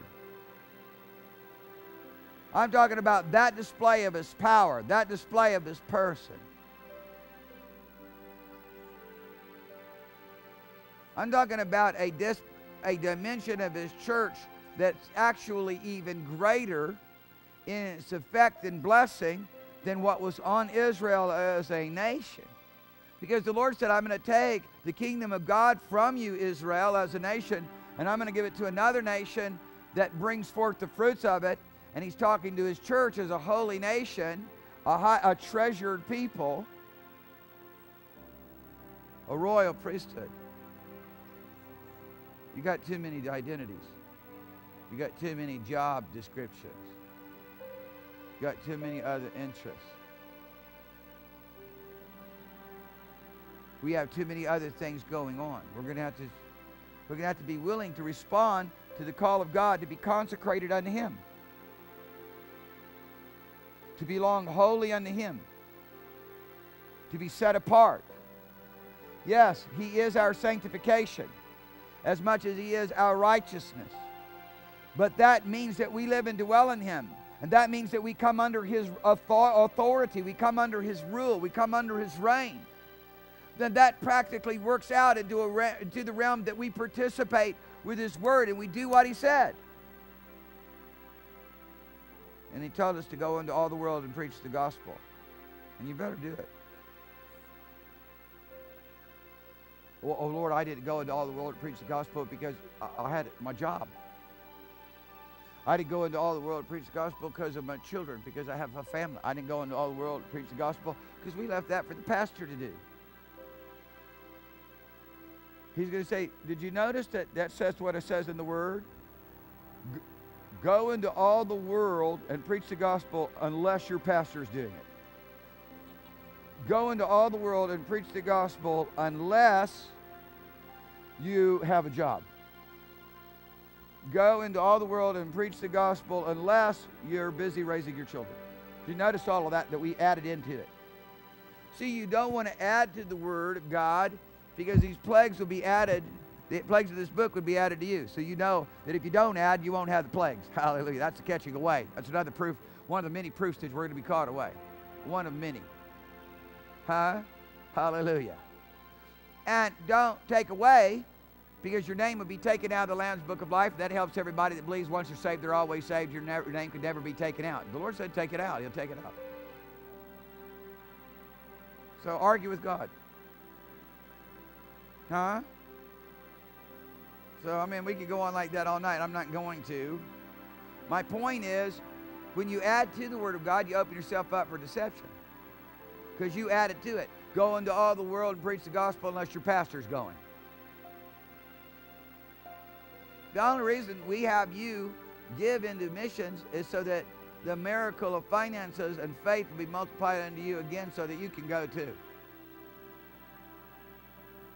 You can have fruit that abounds, they can have fruit that abounds to your account, and having now been hooked up with what God's doing through their life, you can do it as well. Just that much more boldly. God tells us all of these things that He wants us to do, all of these days. Says, I want you to hunger and thirst after righteousness. Well, I mean, you got to say from a practical point of view, what kind of passion is that? What kind of passion is it look like to hunger? Does this look like hunger?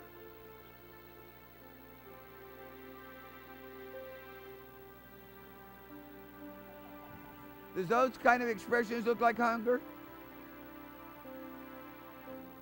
No, hunger is one of the most intense passions known to man. We just need to get you hungry. We don't want you sitting around with your stomach growling necessarily, but we want to get you spiritually hungry. Because when you get spirit, when you get hungry and the food is set, you're running.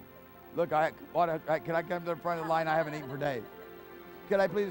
And then thirst is even that much more of a passionate display of man's cravings. Cravings. You'd be cutting in line.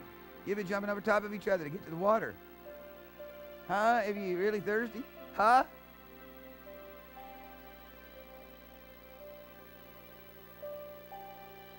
You think you walk in an orderly fashion? No, you would not. No. Not after you've been hungry long enough and thirsty long enough. But we'll find out just how much of love of self there is. Huh? It's easy to speculate what you would do now that you're sitting here having eaten supper already and drank yourself pretty much to a place that, you know, my wife stuffed us with food. It's all her fault. I have to run an extra mile tomorrow now.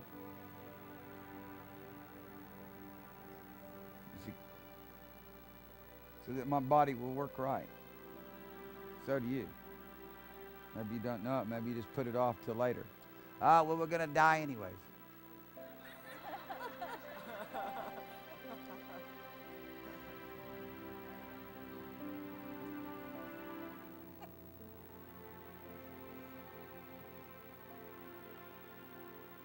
That's terrible state of mind and being.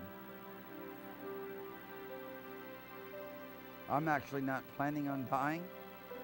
I'm planning on being caught away. I'm planning on being I'm planning on standing in the midst of one of the most glorious revivals.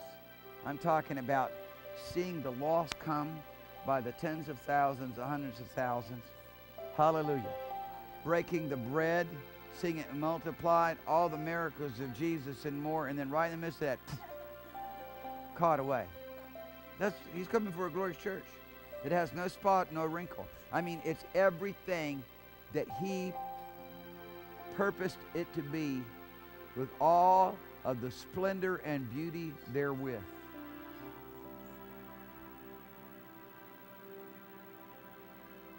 I was telling some preachers the other day, I said, Yeah, you know, I practice translation because I want to be translated into, um, into Saudi Arabia, into Mecca and some other places. And then looking at me like, You practice translation? How do you do that? And really, I was saying it for an effect. I wanted to impact them on the fact that if they're going to go everywhere or anywhere and do signs and wonders and miracles, they better know how to go over into the realms of the anointing in a deeper way. I'm telling you that right now. I'm telling you. I know how deep you can go. I watch your response to the anointing. I know how deep you can go. And Father wants you to go a whole lot deeper. He doesn't want you to be shallow. He wants you to be able to fully respond to his movements. And you can't be offline and fully respond. You can't be stuffing yourself with a bunch of natural things and not end up with spiritual digestion, hardening of the heart and arteries spiritually. Being offline with God, being impacted by trying to please men. Do you know that that is a spiritual dis- dimension that will absolutely shut you off from the anointing? Where you're impacted by men's attitudes and the cultural, you respond to cultural needs. You get around people that you relate to intellectually or, you know, culturally. Maybe it's, you know, they're this kind of folks or that kind of folks. You know, they're the yuppies or the hippies or the, you know, the richies or the preppies and whatever, you know, you respond to whatever they are. You accommodate that atmosphere. It literally imprisons you. You can't be, you another person. They impose upon you an environment. They impose upon you a realm. They impose upon you a mind. They impose upon you a state of being. You're cut off from God, cut off from the anointing. And that becomes a stronghold in people's lives. Now they're going to try to fit into the glory of God where man doesn't exist where it's about lowliness and meekness. They're going to try to now be sensitive to the anointing that operates in an entirely different realm. God calls you and me to be consecrated, set apart into a realm where only He influences us so that we can become very sensitive to Him, so that we can respond to Him, so that we can benefit from the full effects and impact of that which He supplies. People, there, it, it's, it's not an option, it's essential. It's essential.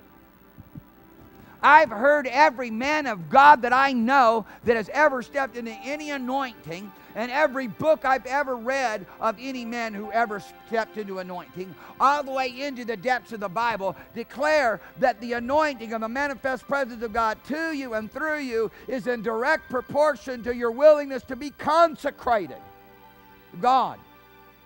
And that's not a religious consecration. We don't have a TV. You need to get one because your consecration's all wrapped up in the wrong thing. We're talking about a consecration to His presence, to interacting with His manifest presence, not to some religious form, not to some religious outward ritual, what you wear or don't wear, how you fashion your hair, or whether you wear a hat or don't wear a hat, or whether you watch TV or go to the movies or whatever, or beach or whatever, or live in a cave. All of it's nonsense is religious. Father's not interested in that. He'll change your heart. He brings you into a place of relationship with Him where, in, in, where you find yourself in His manifest presence. Then He teaches you and shows you and convinces you and convicts you. Don't do that. You, you can do that. That's okay. He grieves you. He, you're grieved. You grieved with His grieving as soon as you're doing something that is not right. And you can override that. The other day, I was overriding it for about a minute. We were, we were in a situation, and there was something that was on the television. I was watching it a little bit too long. I was grieved by it, and about a minute two went by, and I sat there and I said to myself, How long will you abide this when you've been grieved? You know, once again, being reminded that I can override God's Holy Ghost inspiration. I don't want to override it because if I override it, I've hardened myself against Him. And we know that in the last days, the love of many shall wax cold because of iniquity, iniquity abounding. Not necessarily that you are in the iniquity, but it's an atmosphere of iniquity where sin is condoned in every area and every dimension of your life. Huh? And we in that day. We're in that realm. And then ultimately, what we find is the heart is hardened because of the deceitfulness of sin. Because why does why why does 1 Corinthians chapter 3 why does Paul say the deceitfulness of sin? Because it's something that you begin to allow and justify. It's deceitful. If you were in his presence and only in his presence, you would know what it is. But from a legalistic point of view or from a mental point of view or from an intellectual point of view, you don't really you can't really see it as sin. You justify it. Jealousy, envy, malice, evil speaking, evil ideas that primarily are focused against relationships more than anything else, against relationships. It's true. Murmurings, complaining. And not, not even necessarily adultery, not even necessarily fornication, any kind of porneia, which is evil, is the word, is the word for evil. It also can be used the word for it's primarily translated evil, the whole scope of things. And evil really big that, and there you should be. Everybody should be upset because of what's going on with the acceptance of homosexuality, which should be uh, just upset with what's going on with the acceptance of alcoholism, adultery, fornication, abortion. It's all the same category. People be up in arms with it for a little while, and then they get over it. I was just in a town that you're not even, it, up until just this last year, you couldn't buy alcohol in their county. And a few years back, you couldn't buy tobacco. And still, now that they've allowed alcohol in their county, you're not allowed to drink alcohol on Sundays till after church is over. And our whole nation used to be like that.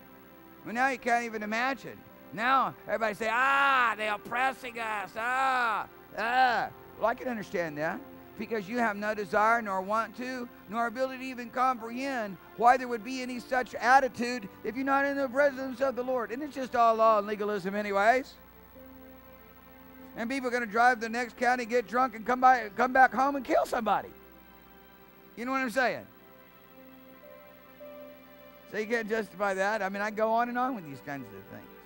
Where we were, our state, no, we want to go back to this. I want to go to heaven.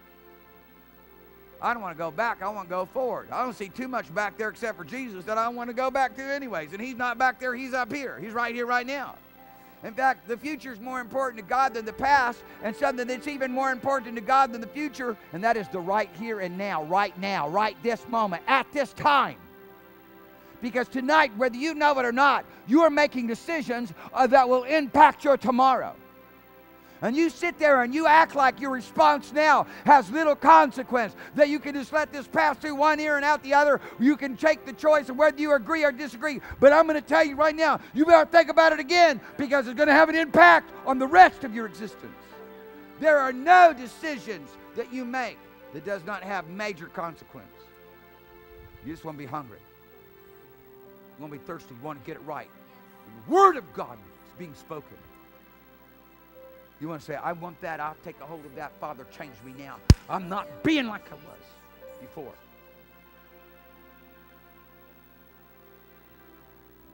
You can't get up and walk out of the meeting when, God, when God's being addressed. That's evil. It's rude. Well, I need to go to the bathroom. You need prayer. I'm gonna, I'll shake it down to where you're living. You can't have a bad attitude, overcorrection, because it's high mindedness, it's arrogance, it's haughtiness, it's rebellion, it's stubbornness that will keep you from heaven. Stubbornness and rebellion is the sin of witchcraft. And I say that witchcraft is, is as bad as homosexuality. So you can be all up in arms about homosexuality, but who wants your witchcraft? Who wants your stubbornness? Who wants your rebellion? Think about it. Talking to everybody in this place. I'm not talking just to one. I'm talking to everybody. I'm not talking just to you. I'm talking about everybody. Because there's not a single person that doesn't run a risk of being stubborn and rebellious. And there's not a single person in this place, if you should encounter God just a little bit more, that you will collapse and say, God, how could have I been so stubborn and arrogant? How could I have been so self-exalted and, and high-minded? How could it is, oh God, that I have such little humility in my life when that is the very character and nature that you gave me when I was born of the Spirit? I have just wholly abandoned the way. Because I took up false models and took up wrong attitudes and resisted the Word of God because I didn't agree, because I didn't understand. God told you to be converted, become like a little child. He didn't tell you to understand. He didn't tell you. God's not interested in whether you agree with Him with respect to your opinion.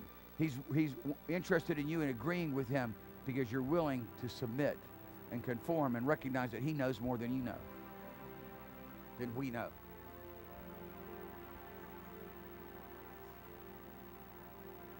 He places before us the privilege of access into His presence with only acceptance and love and glad to have us there. He blesses us with the privilege and divine ability and grace to run off every power of darkness that would try to stop us and hinder us and ill affect us. And we can just take this for granted and act like we can make up our own mind and decide for ourselves what we will do and what we will not do. You'll never have the functioning mind of Christ with such a disposition. You will come into a place of consecrating yourself, of humbling yourself under the mighty hand of God, of obeying His word and becoming like a little child and becoming a yes man to God and so passive in your nature towards Him. As long as you're self willed, as long as you know what's best for you, and oh, you know and understand God as much and as better as anyone else, because after all, we need not that any man teach us.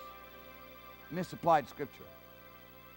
What God teaches us by the anointing, that we don't need anybody to teach us, is that we're supposed to abide in Him. And when you're abiding in Him, that is extreme humility and lowliness and brokenness and servitude and submission and obedience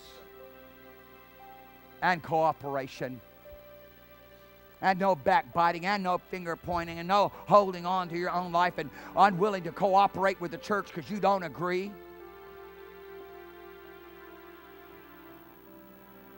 I want you to I want you to become an intercessor that breaks the stronghold of that power and dominion that rules throughout the churches throughout the United States of America. And if you're not careful, you'll come under the same influence of the same demonic power and try it will try to work its work through you in this place and it won't work.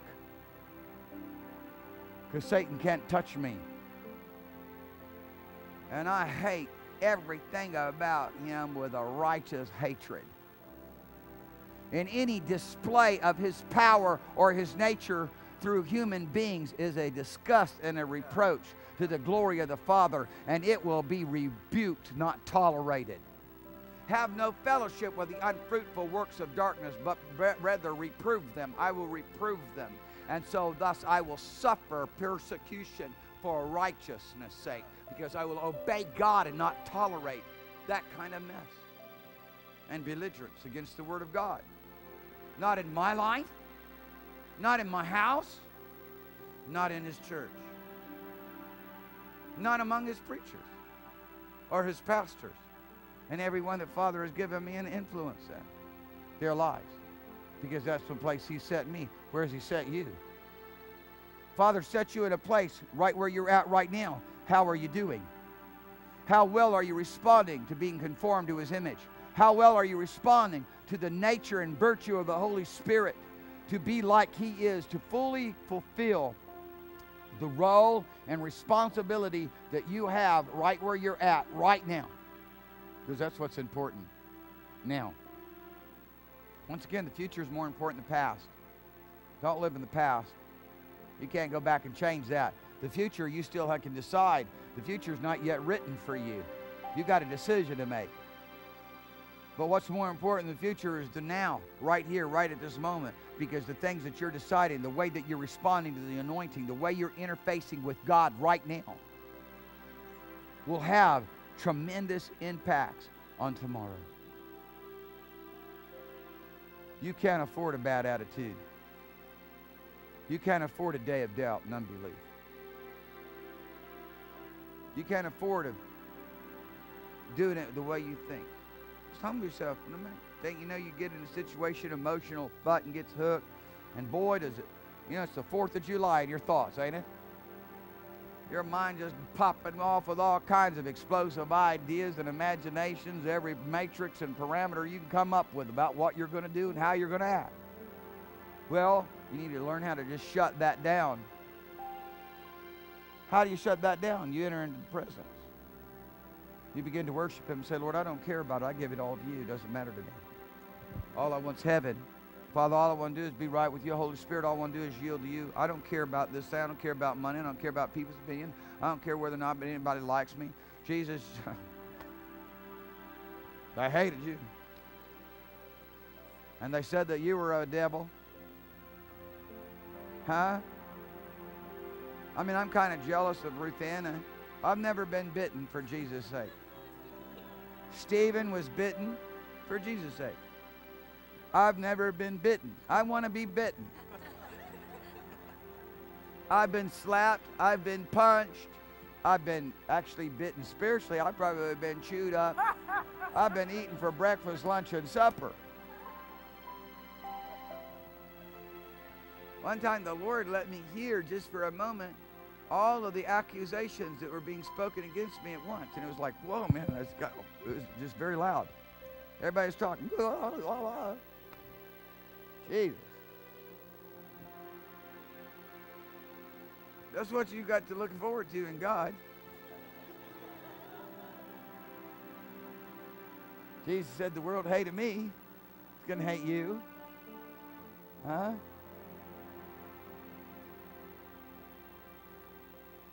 They, if they said I do what I do by a devil, what are they going to say about you? But I tell you, every second in Him is worth it. To just be a part of the glorious church. I don't care what anybody says about me. I tell this to the Lord all the time. Father, I don't care what anybody says about me. I don't care how people feel about me. I don't care, Lord, how many this or that things there are. All I want is your glory and your power manifested through my life with signs and wonders and miracles, the demonstration of that which you placed within the midst of the church through my life, to my life first and foremost, and through my life. Now, I can say that, but then tomorrow comes and I can tell you, I know when it's 7.01, I don't have to look at a clock. I know it's 7.01. I'm one minute past my time of prayer. And it hits me real hard. I can say, it's 7.01 right now, isn't it? Why? Because he's calling me. It's not, it's not ritual. It's not legalistic. What am I going to do? Oh, I got, I'm, got a yoke of oxen. Got a new field. Well, I thought that may be just something you said once. No. Something you say potentially continually. He's calling.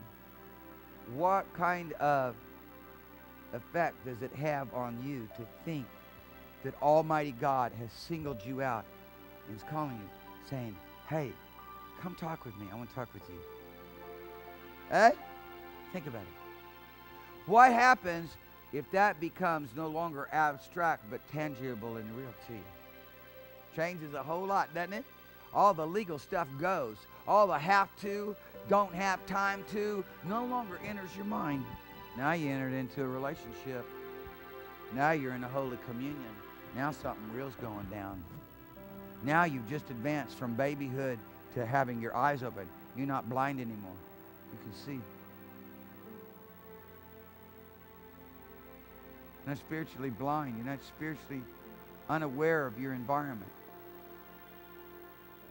Like a little child. Fathers, did you know that if you didn't know this tonight, now you know it. Father singled you out. And he's called you to come be with him. And as soon as you get close to him, he's going to say, All right, uh, you can't have that. Uh, that attitude? Uh, no. And I want you to get rid of that. Now, come on in, come on in, come on in. Hey, now. It's all just a heart-to-heart communion. You know. You know. But Father, you heard what they said about me. You heard, you heard. And I was standing for you and I executed your judgment. And I declared this on your behalf. And look, I said, leave that out. Come over here. Then I make my decision consciously whether I want to hang on to my problem, my issue, my attitude, or come over and spend some time with Father because I've been invited into the throne. I've been invited into the presence. And the more I go there, the more I realize that I'm really there. And the more time I spend there, it becomes a holy communion, and I become so enriched. I become so strengthened. I become so filled up that the things of this world grow strangely dim. That those things that used to have real value and real meaning to me, that were really important, the things that I needed to achieve, the things I needed to attain, no, no longer has any value. All that matters is the heavenly realm. All that matters is going and conquering India. I today, a, a a new part of India was born in my spirit. Huh? It was because I'm standing there and I'm looking at what was there seven people, and they all from the same region of India. They're from the same little province in southern India. I said, you, so you all guys, you, all of you came here together? No, you all came individually. Did you know each other before you came? No. I said, do you think that maybe your province is a little bit more overrepresented here in San Diego? No. How did you come here to the church? You know, I'm working on this thing, man, because I know this this is just, you know, this is no coincidence. They're all from the same region and they're saying they need the fire of God. They want the fire of God. And I'm going, what's the name of that province? Kerala, right? Kerala? Huh? Hey? Say it again. Kerala. Say it right. That's so I want to hear it from the Hindi. Kerala. I called up one of my friends and said, Well, Kerala is on the radar now. Get some more money. Or whatever we need to do, pull it together. I'm going to Kerala to a bunch of places I can't even pronounce the name. They're like 20 syllables. I kid you not. It's just like it's this it's the name of a city that's like this long.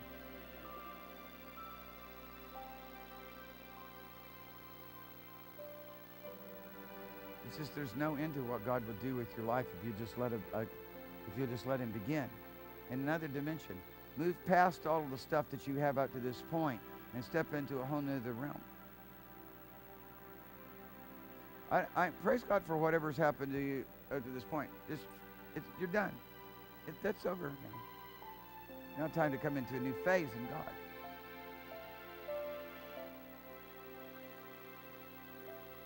It's now, to, it's now time to mature recognize that He truly has singled you out and He's calling you to Himself.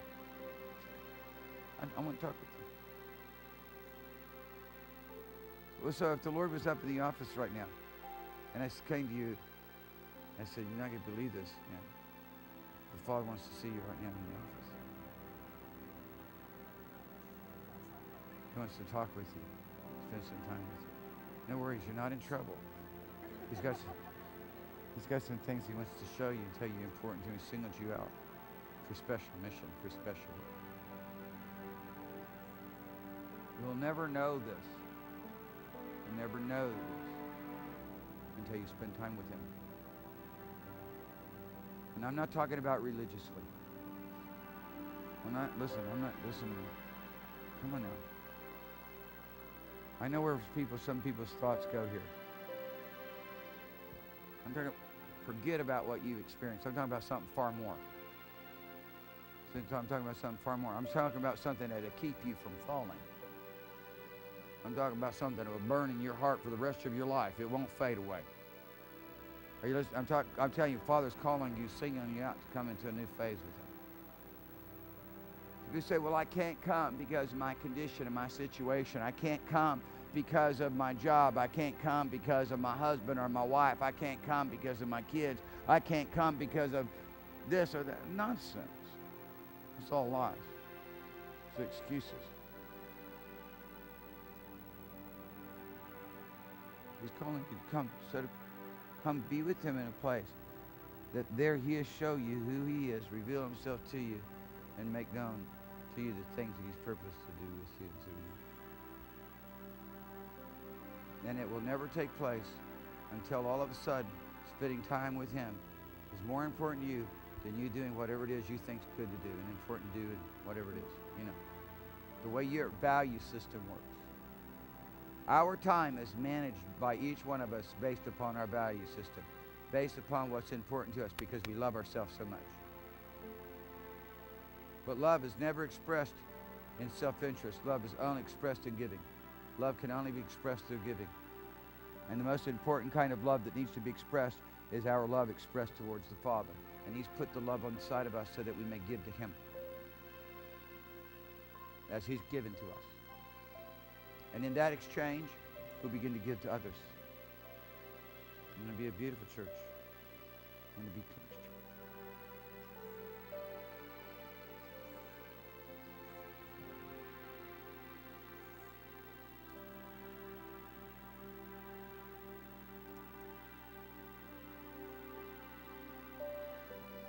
Right now, in Jesus' name, God the Holy Ghost frees you from everything of the past.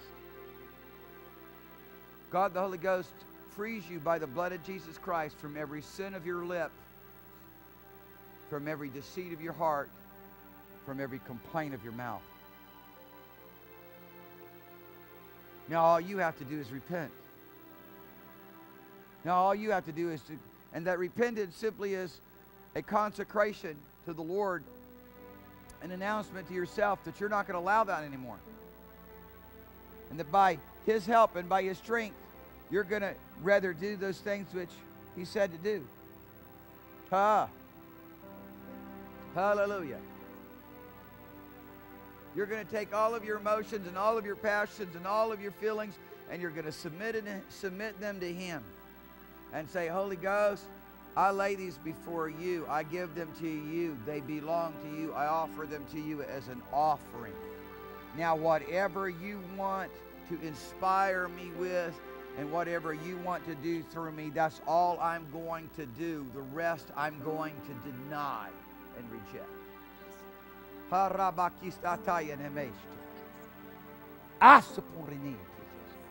Now, in the name of Jesus Christ of Nazareth, there's not going to be sickness and disease dominating over anyone's life in this place. I break the power of every affliction and every torment, mentally and physically. In the name of Jesus. Father, we as a church tonight, we consecrate ourselves to you to step over into a realm of of hearing what you have to say and participating with the things that you purposed us to do. That the greatest work that you've ever purposed and planned to do may begin to be seen, not only in other places, but in this place as well.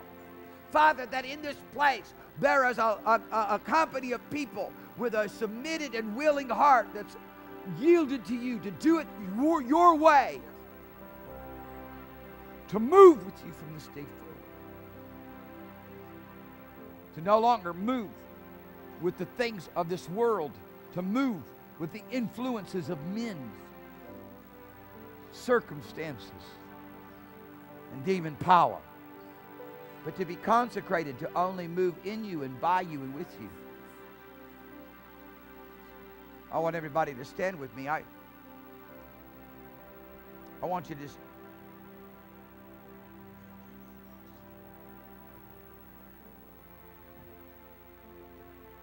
I want you to just come forward. Just come, come gate, come gather round.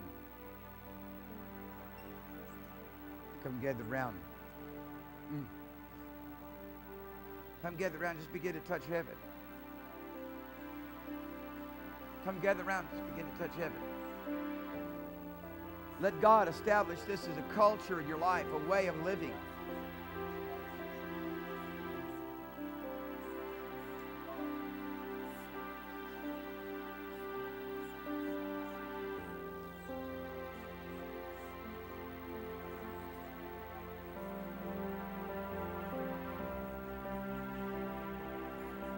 Oh, mama sikara. Sobra mama bara de deve che dice balada deve deve. Father, we thank you that you've called us into yourself.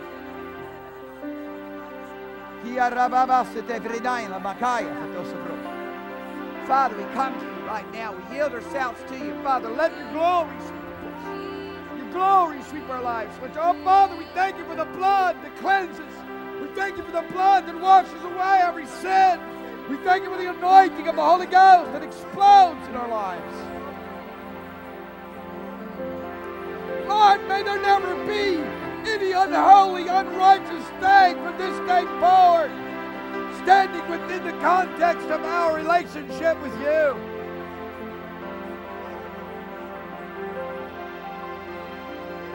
Lord, come make known yourself. Come manifest your glory.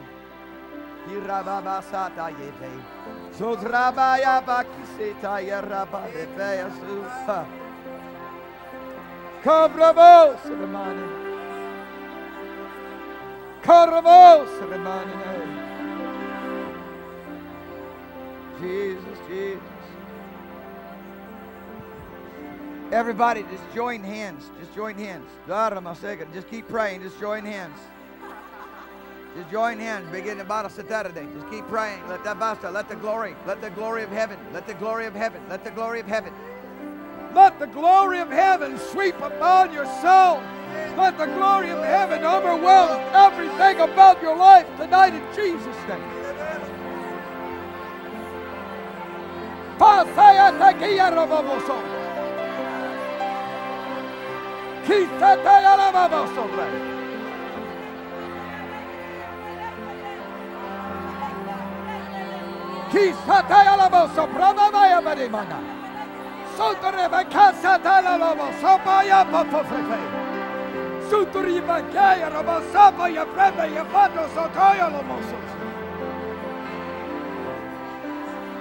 Your will, oh God, your will, oh God, your will, oh God, your will, oh God, your glory, your glory, your glory, your work of power, your work of faith. Oh God, your great outpourings, we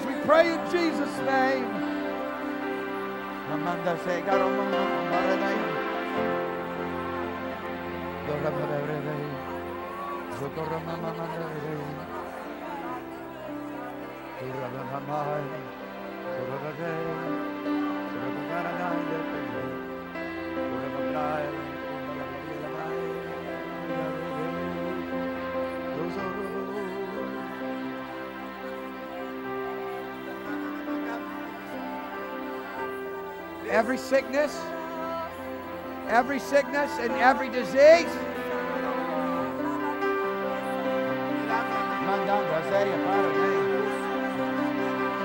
Irababasaya,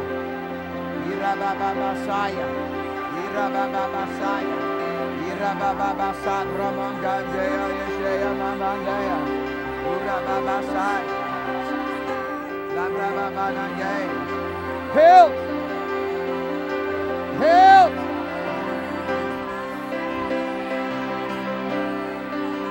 Fire, healed.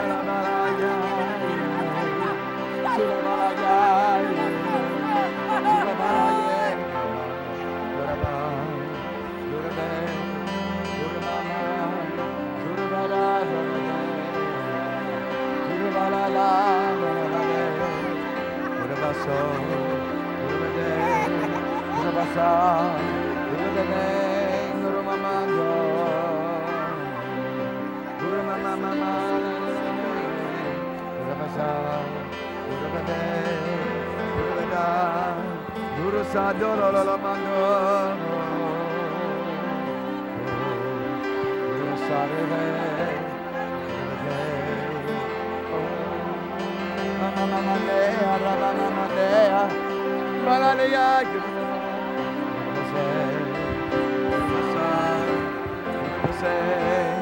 Ura mama mama mandira bosu Ura mama mandira sarere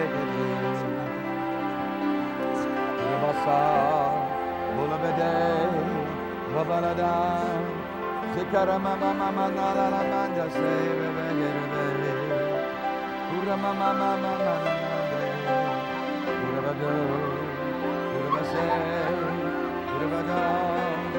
Ura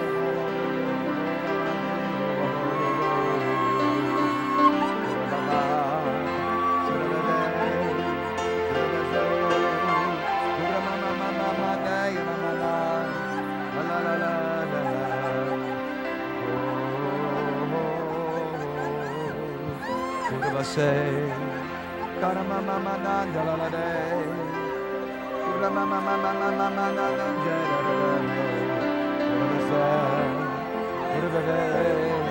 Kurabada, Zirina mama gera, Kurabamana, Sugarada, Kurabo, Zirebe, la la la la la la mana, la la la la mama nana, la mama la la la mana, la mama la la manea,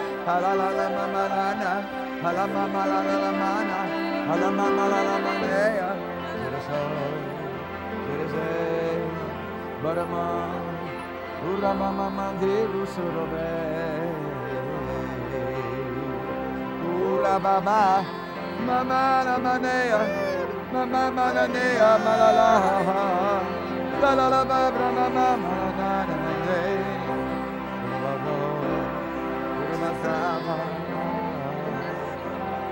Ura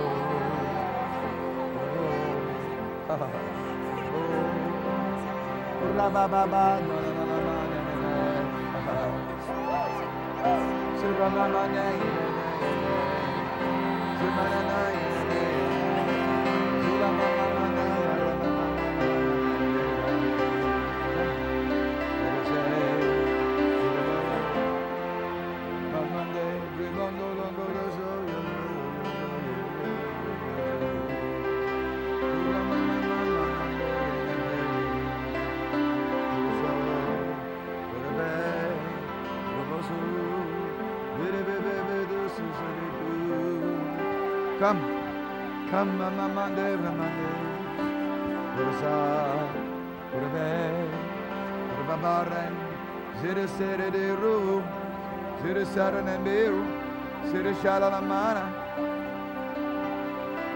Zere Shalalamane, Nabra. Ah, oh God, my King. Oh God, my King. Oh God, our King. Oh God, our King. Zorobe. Urabama. Zere. Urabara. Zerebebelebe yolovolomanu. Uramamamana.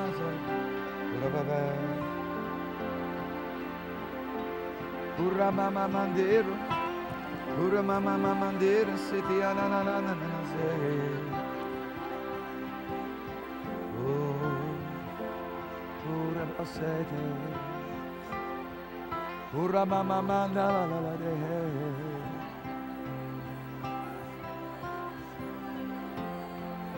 Your glory, Lord. Your glory, Lord.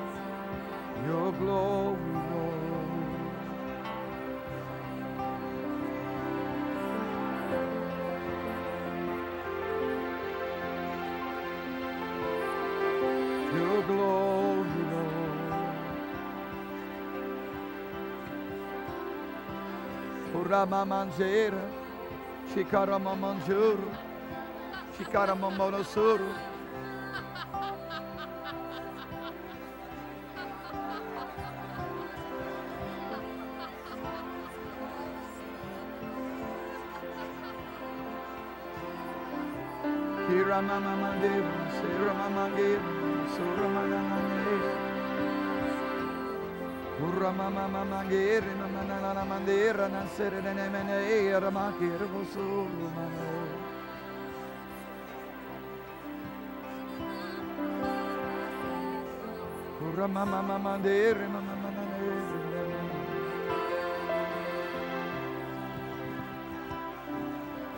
want you to, I want you to say with me, say, Holy Spirit,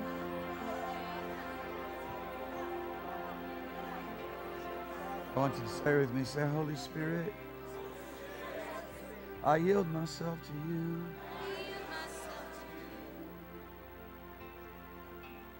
Holy Spirit, take full control of me.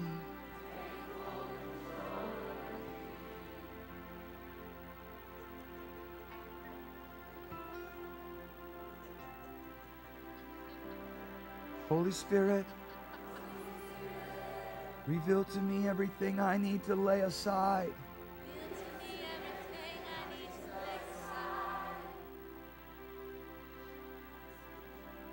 so that you can take full control of me.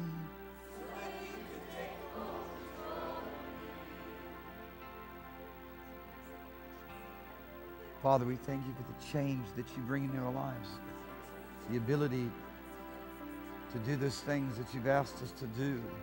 We thank you for strengthening us with your mighty power by your spirit in our inner being right now. That nothing about our future is going to look anything like our past. Thank you, Jesus. Because from this day forward, we live our lives consecrated to you like never before to allow nothing except for those things that belong to heaven in our lives. To give ourselves over to the holy emotions. To give ourselves over to the purity and to the virtue that you've called us to live in. To give ourselves over to your love and your compassion and your joy and your peace and your humility and your brokenness and your tenderness.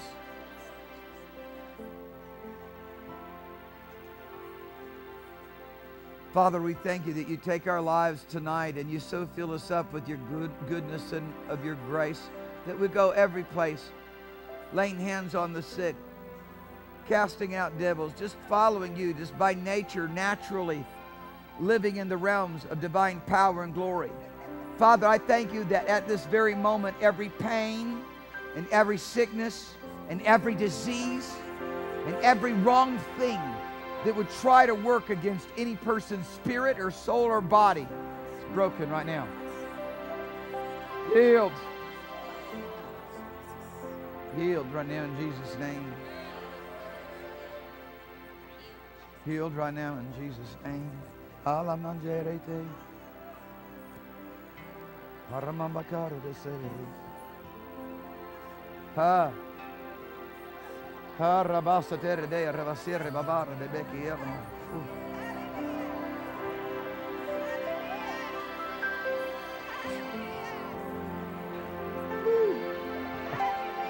Iramamamanea. Iaramamamanea. Kiaramamamanea. Oh God, we seek your face, oh God. We seek your presence. Lord.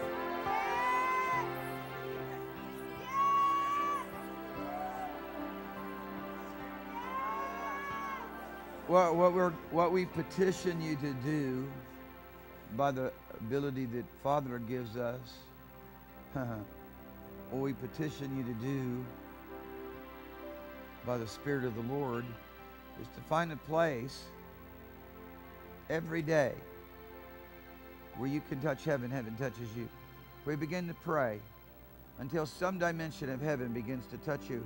And then you know, in that thanksgiving, in that praise. Watch as Father begins to take that manifestation of His presence and of His glory and cause it to become bigger and bigger and more intense in your life. We want you to take that personal relationship with the Lord and bring it into the context of being right here. Because I'm telling you, Father has purposed that a rushing mighty wind fill this place. Father has purposed that not just one or two or not just a few become overwhelmed by the glory in the context of the meeting, but everyone comes under the grip of his divine presence. And if you will begin to seek him with me in a way that he's called us to,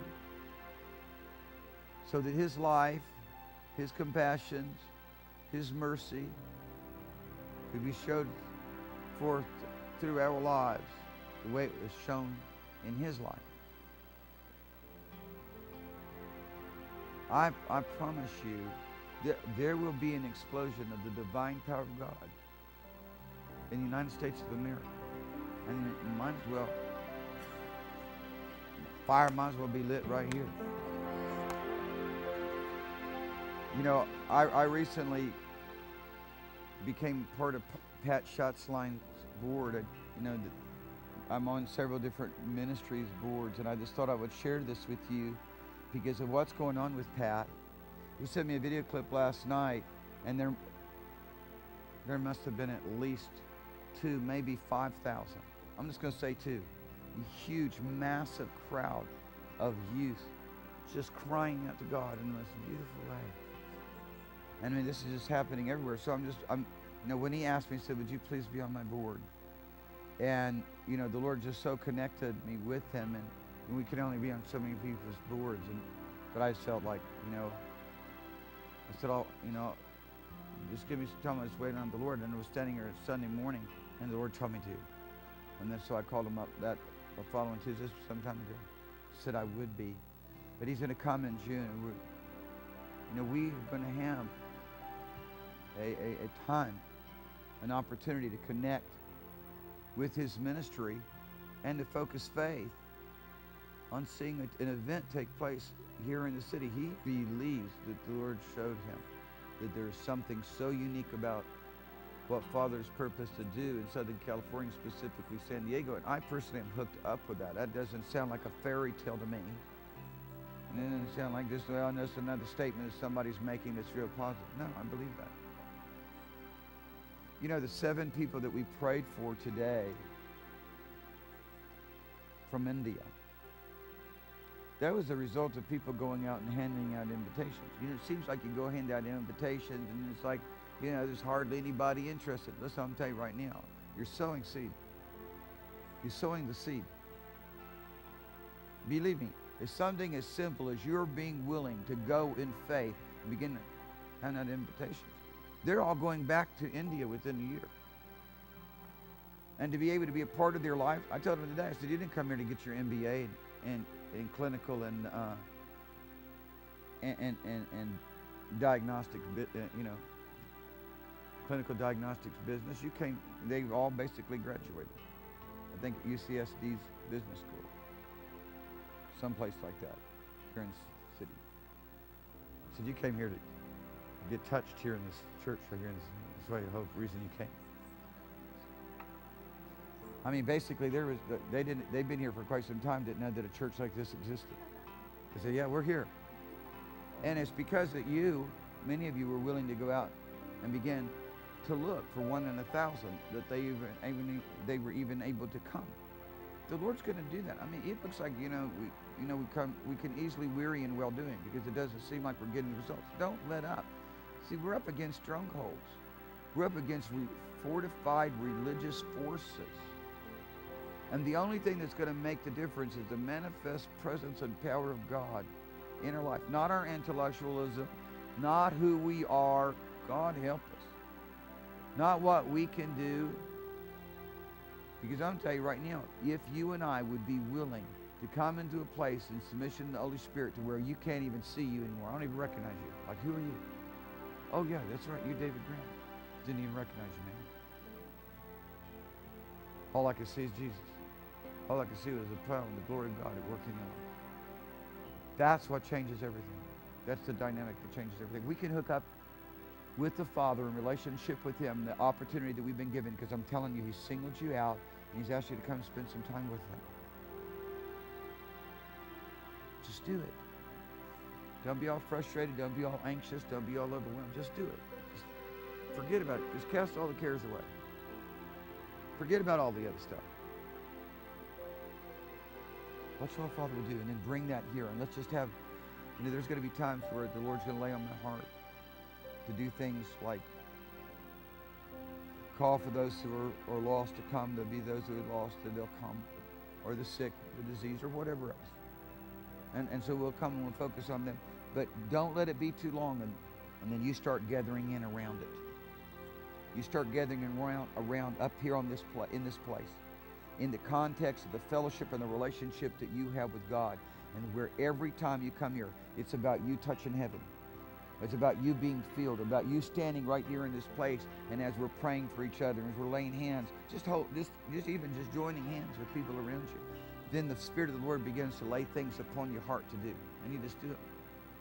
I guarantee you, you'll find yourself closing your eyes, closing your eyes, and getting a vision, an open vision, seeing a face and seeing then maybe an object. Sometimes, like today, you know, I laid hands on someone, and as soon as I laid hands on them, I see a very colorful guitar, lit up. And I said to him, do you, do you play an instrument? No. Well, you're going to. Get ready. And I tell you what that instrument is, the guitar. Grab the whole thing. Grab a hold of the thing. Because the anointing of the Holy Ghost is on it. You'll explode in the thing. And right now, in Jesus' name, receive. And it's in the house. Word of knowledge is in the house. Prophecy is in the house. The giftings of the Spirit are here. You get to operate in those things. You get to receive those things. To immediately go out and just by nature, you don't have to try to put it on. It's just by nat- nature. You just let God direct you, and- and God will show you people. It, it, it, it won't be a, you won't, it won't be a have to. You won't be forced to do it. It'll be a tractor beam. You'll be just drawn into it, and you'll go. And when you begin to approach them, it'll be such an anointing of boldness and confidence on you because you'll be God sent and be God ordained. Look, listen. Imagine. I just I'm going to go over some of the things that went over Friday night real quickly. Please watch Friday night. The Lord had me to deliver something on Friday night. I know a lot of people weren't able to come, and I'm sure there was a bit of confusion about what meeting was going on as well. But nonetheless, just please spend some time with it because I delivered something about walking in this wonderful divine realm by nature, just naturally, knowing that God's going to show you. Because if you were walking, you know, let's just say you had a lunch break and it was 30 minutes and you're walking down the street. If you tried to talk to every single person, you'd never get to lunch and you wouldn't get back to, to the job. And if, but however, if you're willing to be over in this realm of divine power and grace, then you're going to be walking down the street and the Lord's going to all of a sudden lay upon your heart the right person. You may walk down that sidewalk three, four, five times and nothing happens. Just leave it to the Lord. Let begin to come under His divine control and His compulsion rather than a necessity or a have to. Let God, the Holy Ghost, because He knows the right one that's ready. You could be so busy out of obligation getting everybody that you don't have time to get to the one that was ready. Let God, he'll, he'll, and I tell you, it'll be fun. It won't be like you scary or you know intimidating or, or awkward. You'll have a download from heaven. Compassion will consume you. They will not be a stranger to you, even though they were are a stranger. You will have a divine power and authority to minister to them, and that will be effective ministry. When we begin to give ourselves over to this relationship with the Holy Spirit, here's what takes place. What takes place is we begin to, by nature, find ourselves following Jesus, empowered to do his ministry. And within that context, all the gifts of the Spirit are available to us, whatever we need, anytime we need them. If we try to force it, if we try to make it happen, if we've got to do it because that's the mandate that's placed upon us, then God the Holy Ghost doesn't really have much of a time really to get in there. I'm not saying he can't use the Baptist method of handing a tract to everybody on the street. I'm not saying that. I'm saying right now there is a great need for you and I to begin to just kind of, as it were, stand back and say, okay, Holy Spirit, I want to come under your divine direction specifically to do your work in the most effective way.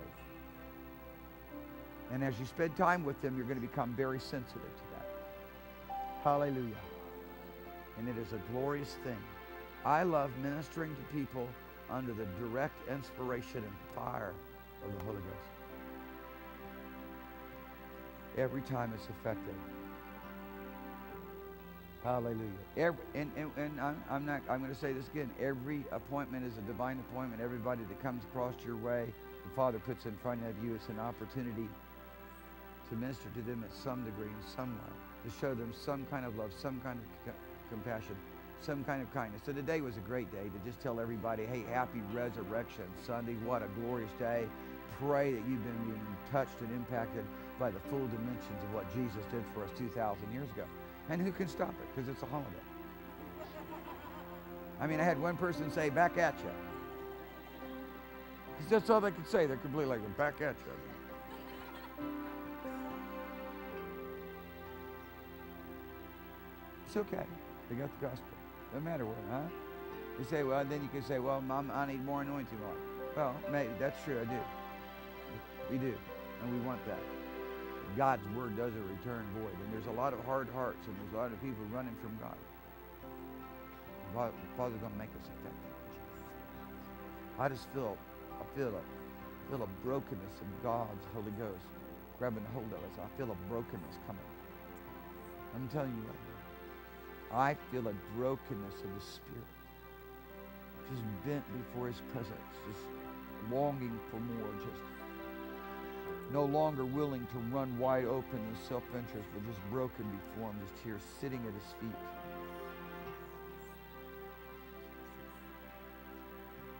Hallelujah.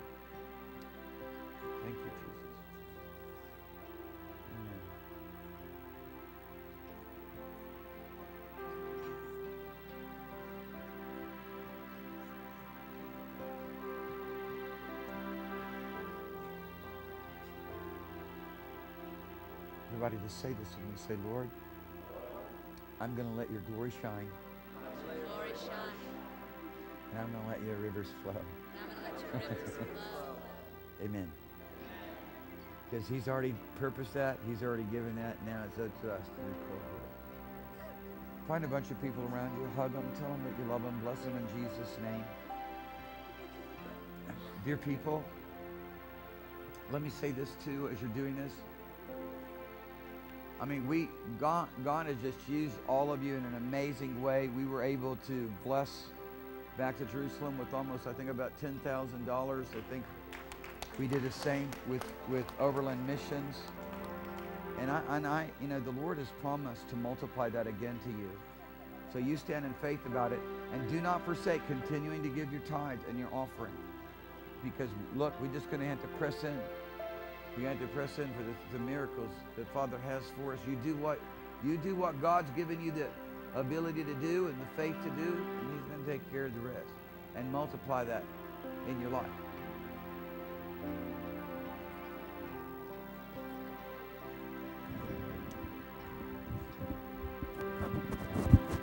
If there's anyone in here, you've not been baptized in the Holy Ghost with the evidence of the heavenly language, and you want to be be here for that, I guarantee you, we'll put some people on you right now. The power of God will come on you, and you'll just be launched out into glory land.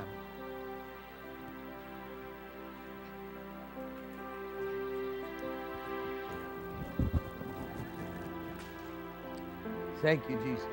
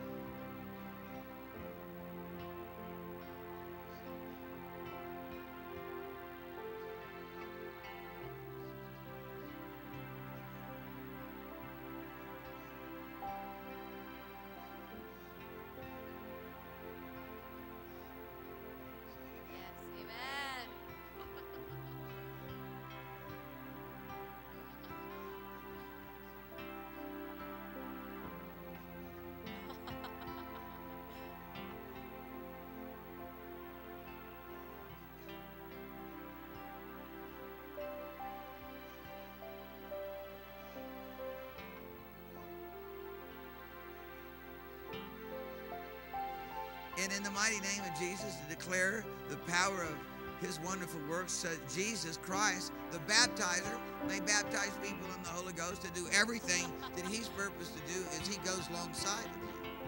So according to that which God ordained and which Father has set in place, we recognize also that ordination and that election. And so set you in place along with us. Hallelujah. We standing with you, you're never alone, but you are encamped about by so great a cloud of witnesses, both in heaven and here on earth, in the midst of this company of people, to do the work of the ministry. Hallelujah.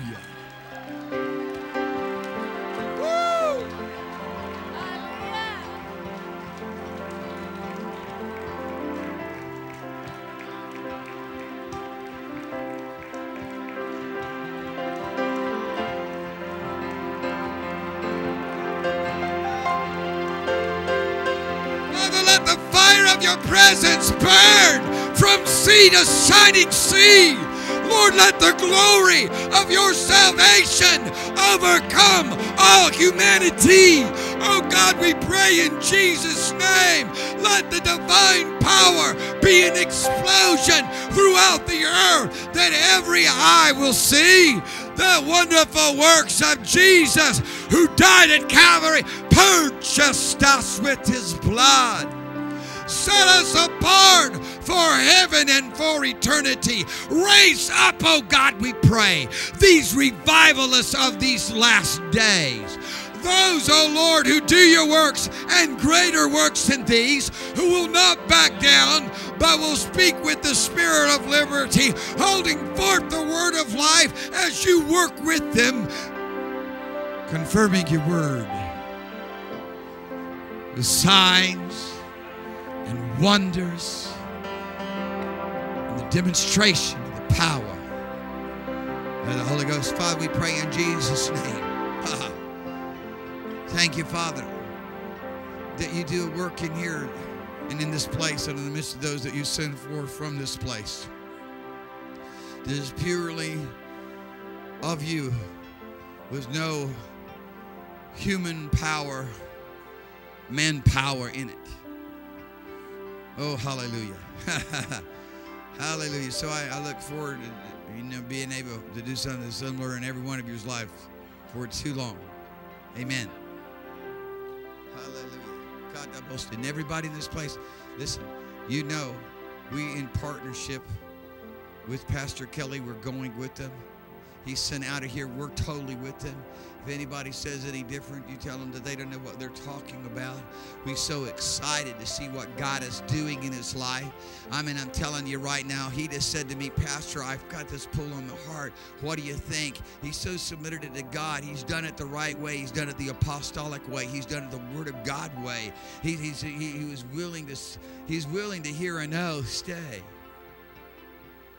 But I'm telling you right now, there is a no, there is not such no such thing as a no stay when it's time to go and dude. I mean, I'm just so excited.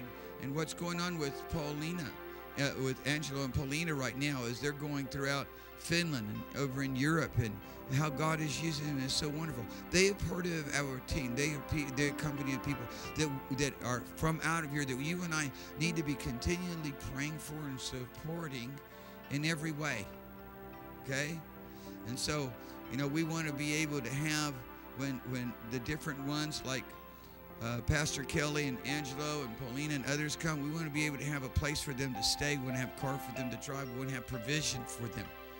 And so we we want you to agree with us in that. You know, we were thinking about a couple of different ideas, but you know, of things that we could do for provision. But you pray about it with us as well, and let's just see every time a, a you know open door so that there's you know there's no there's no issues there. Okay, Amen. It's great to be a part of the family of God, ain't it?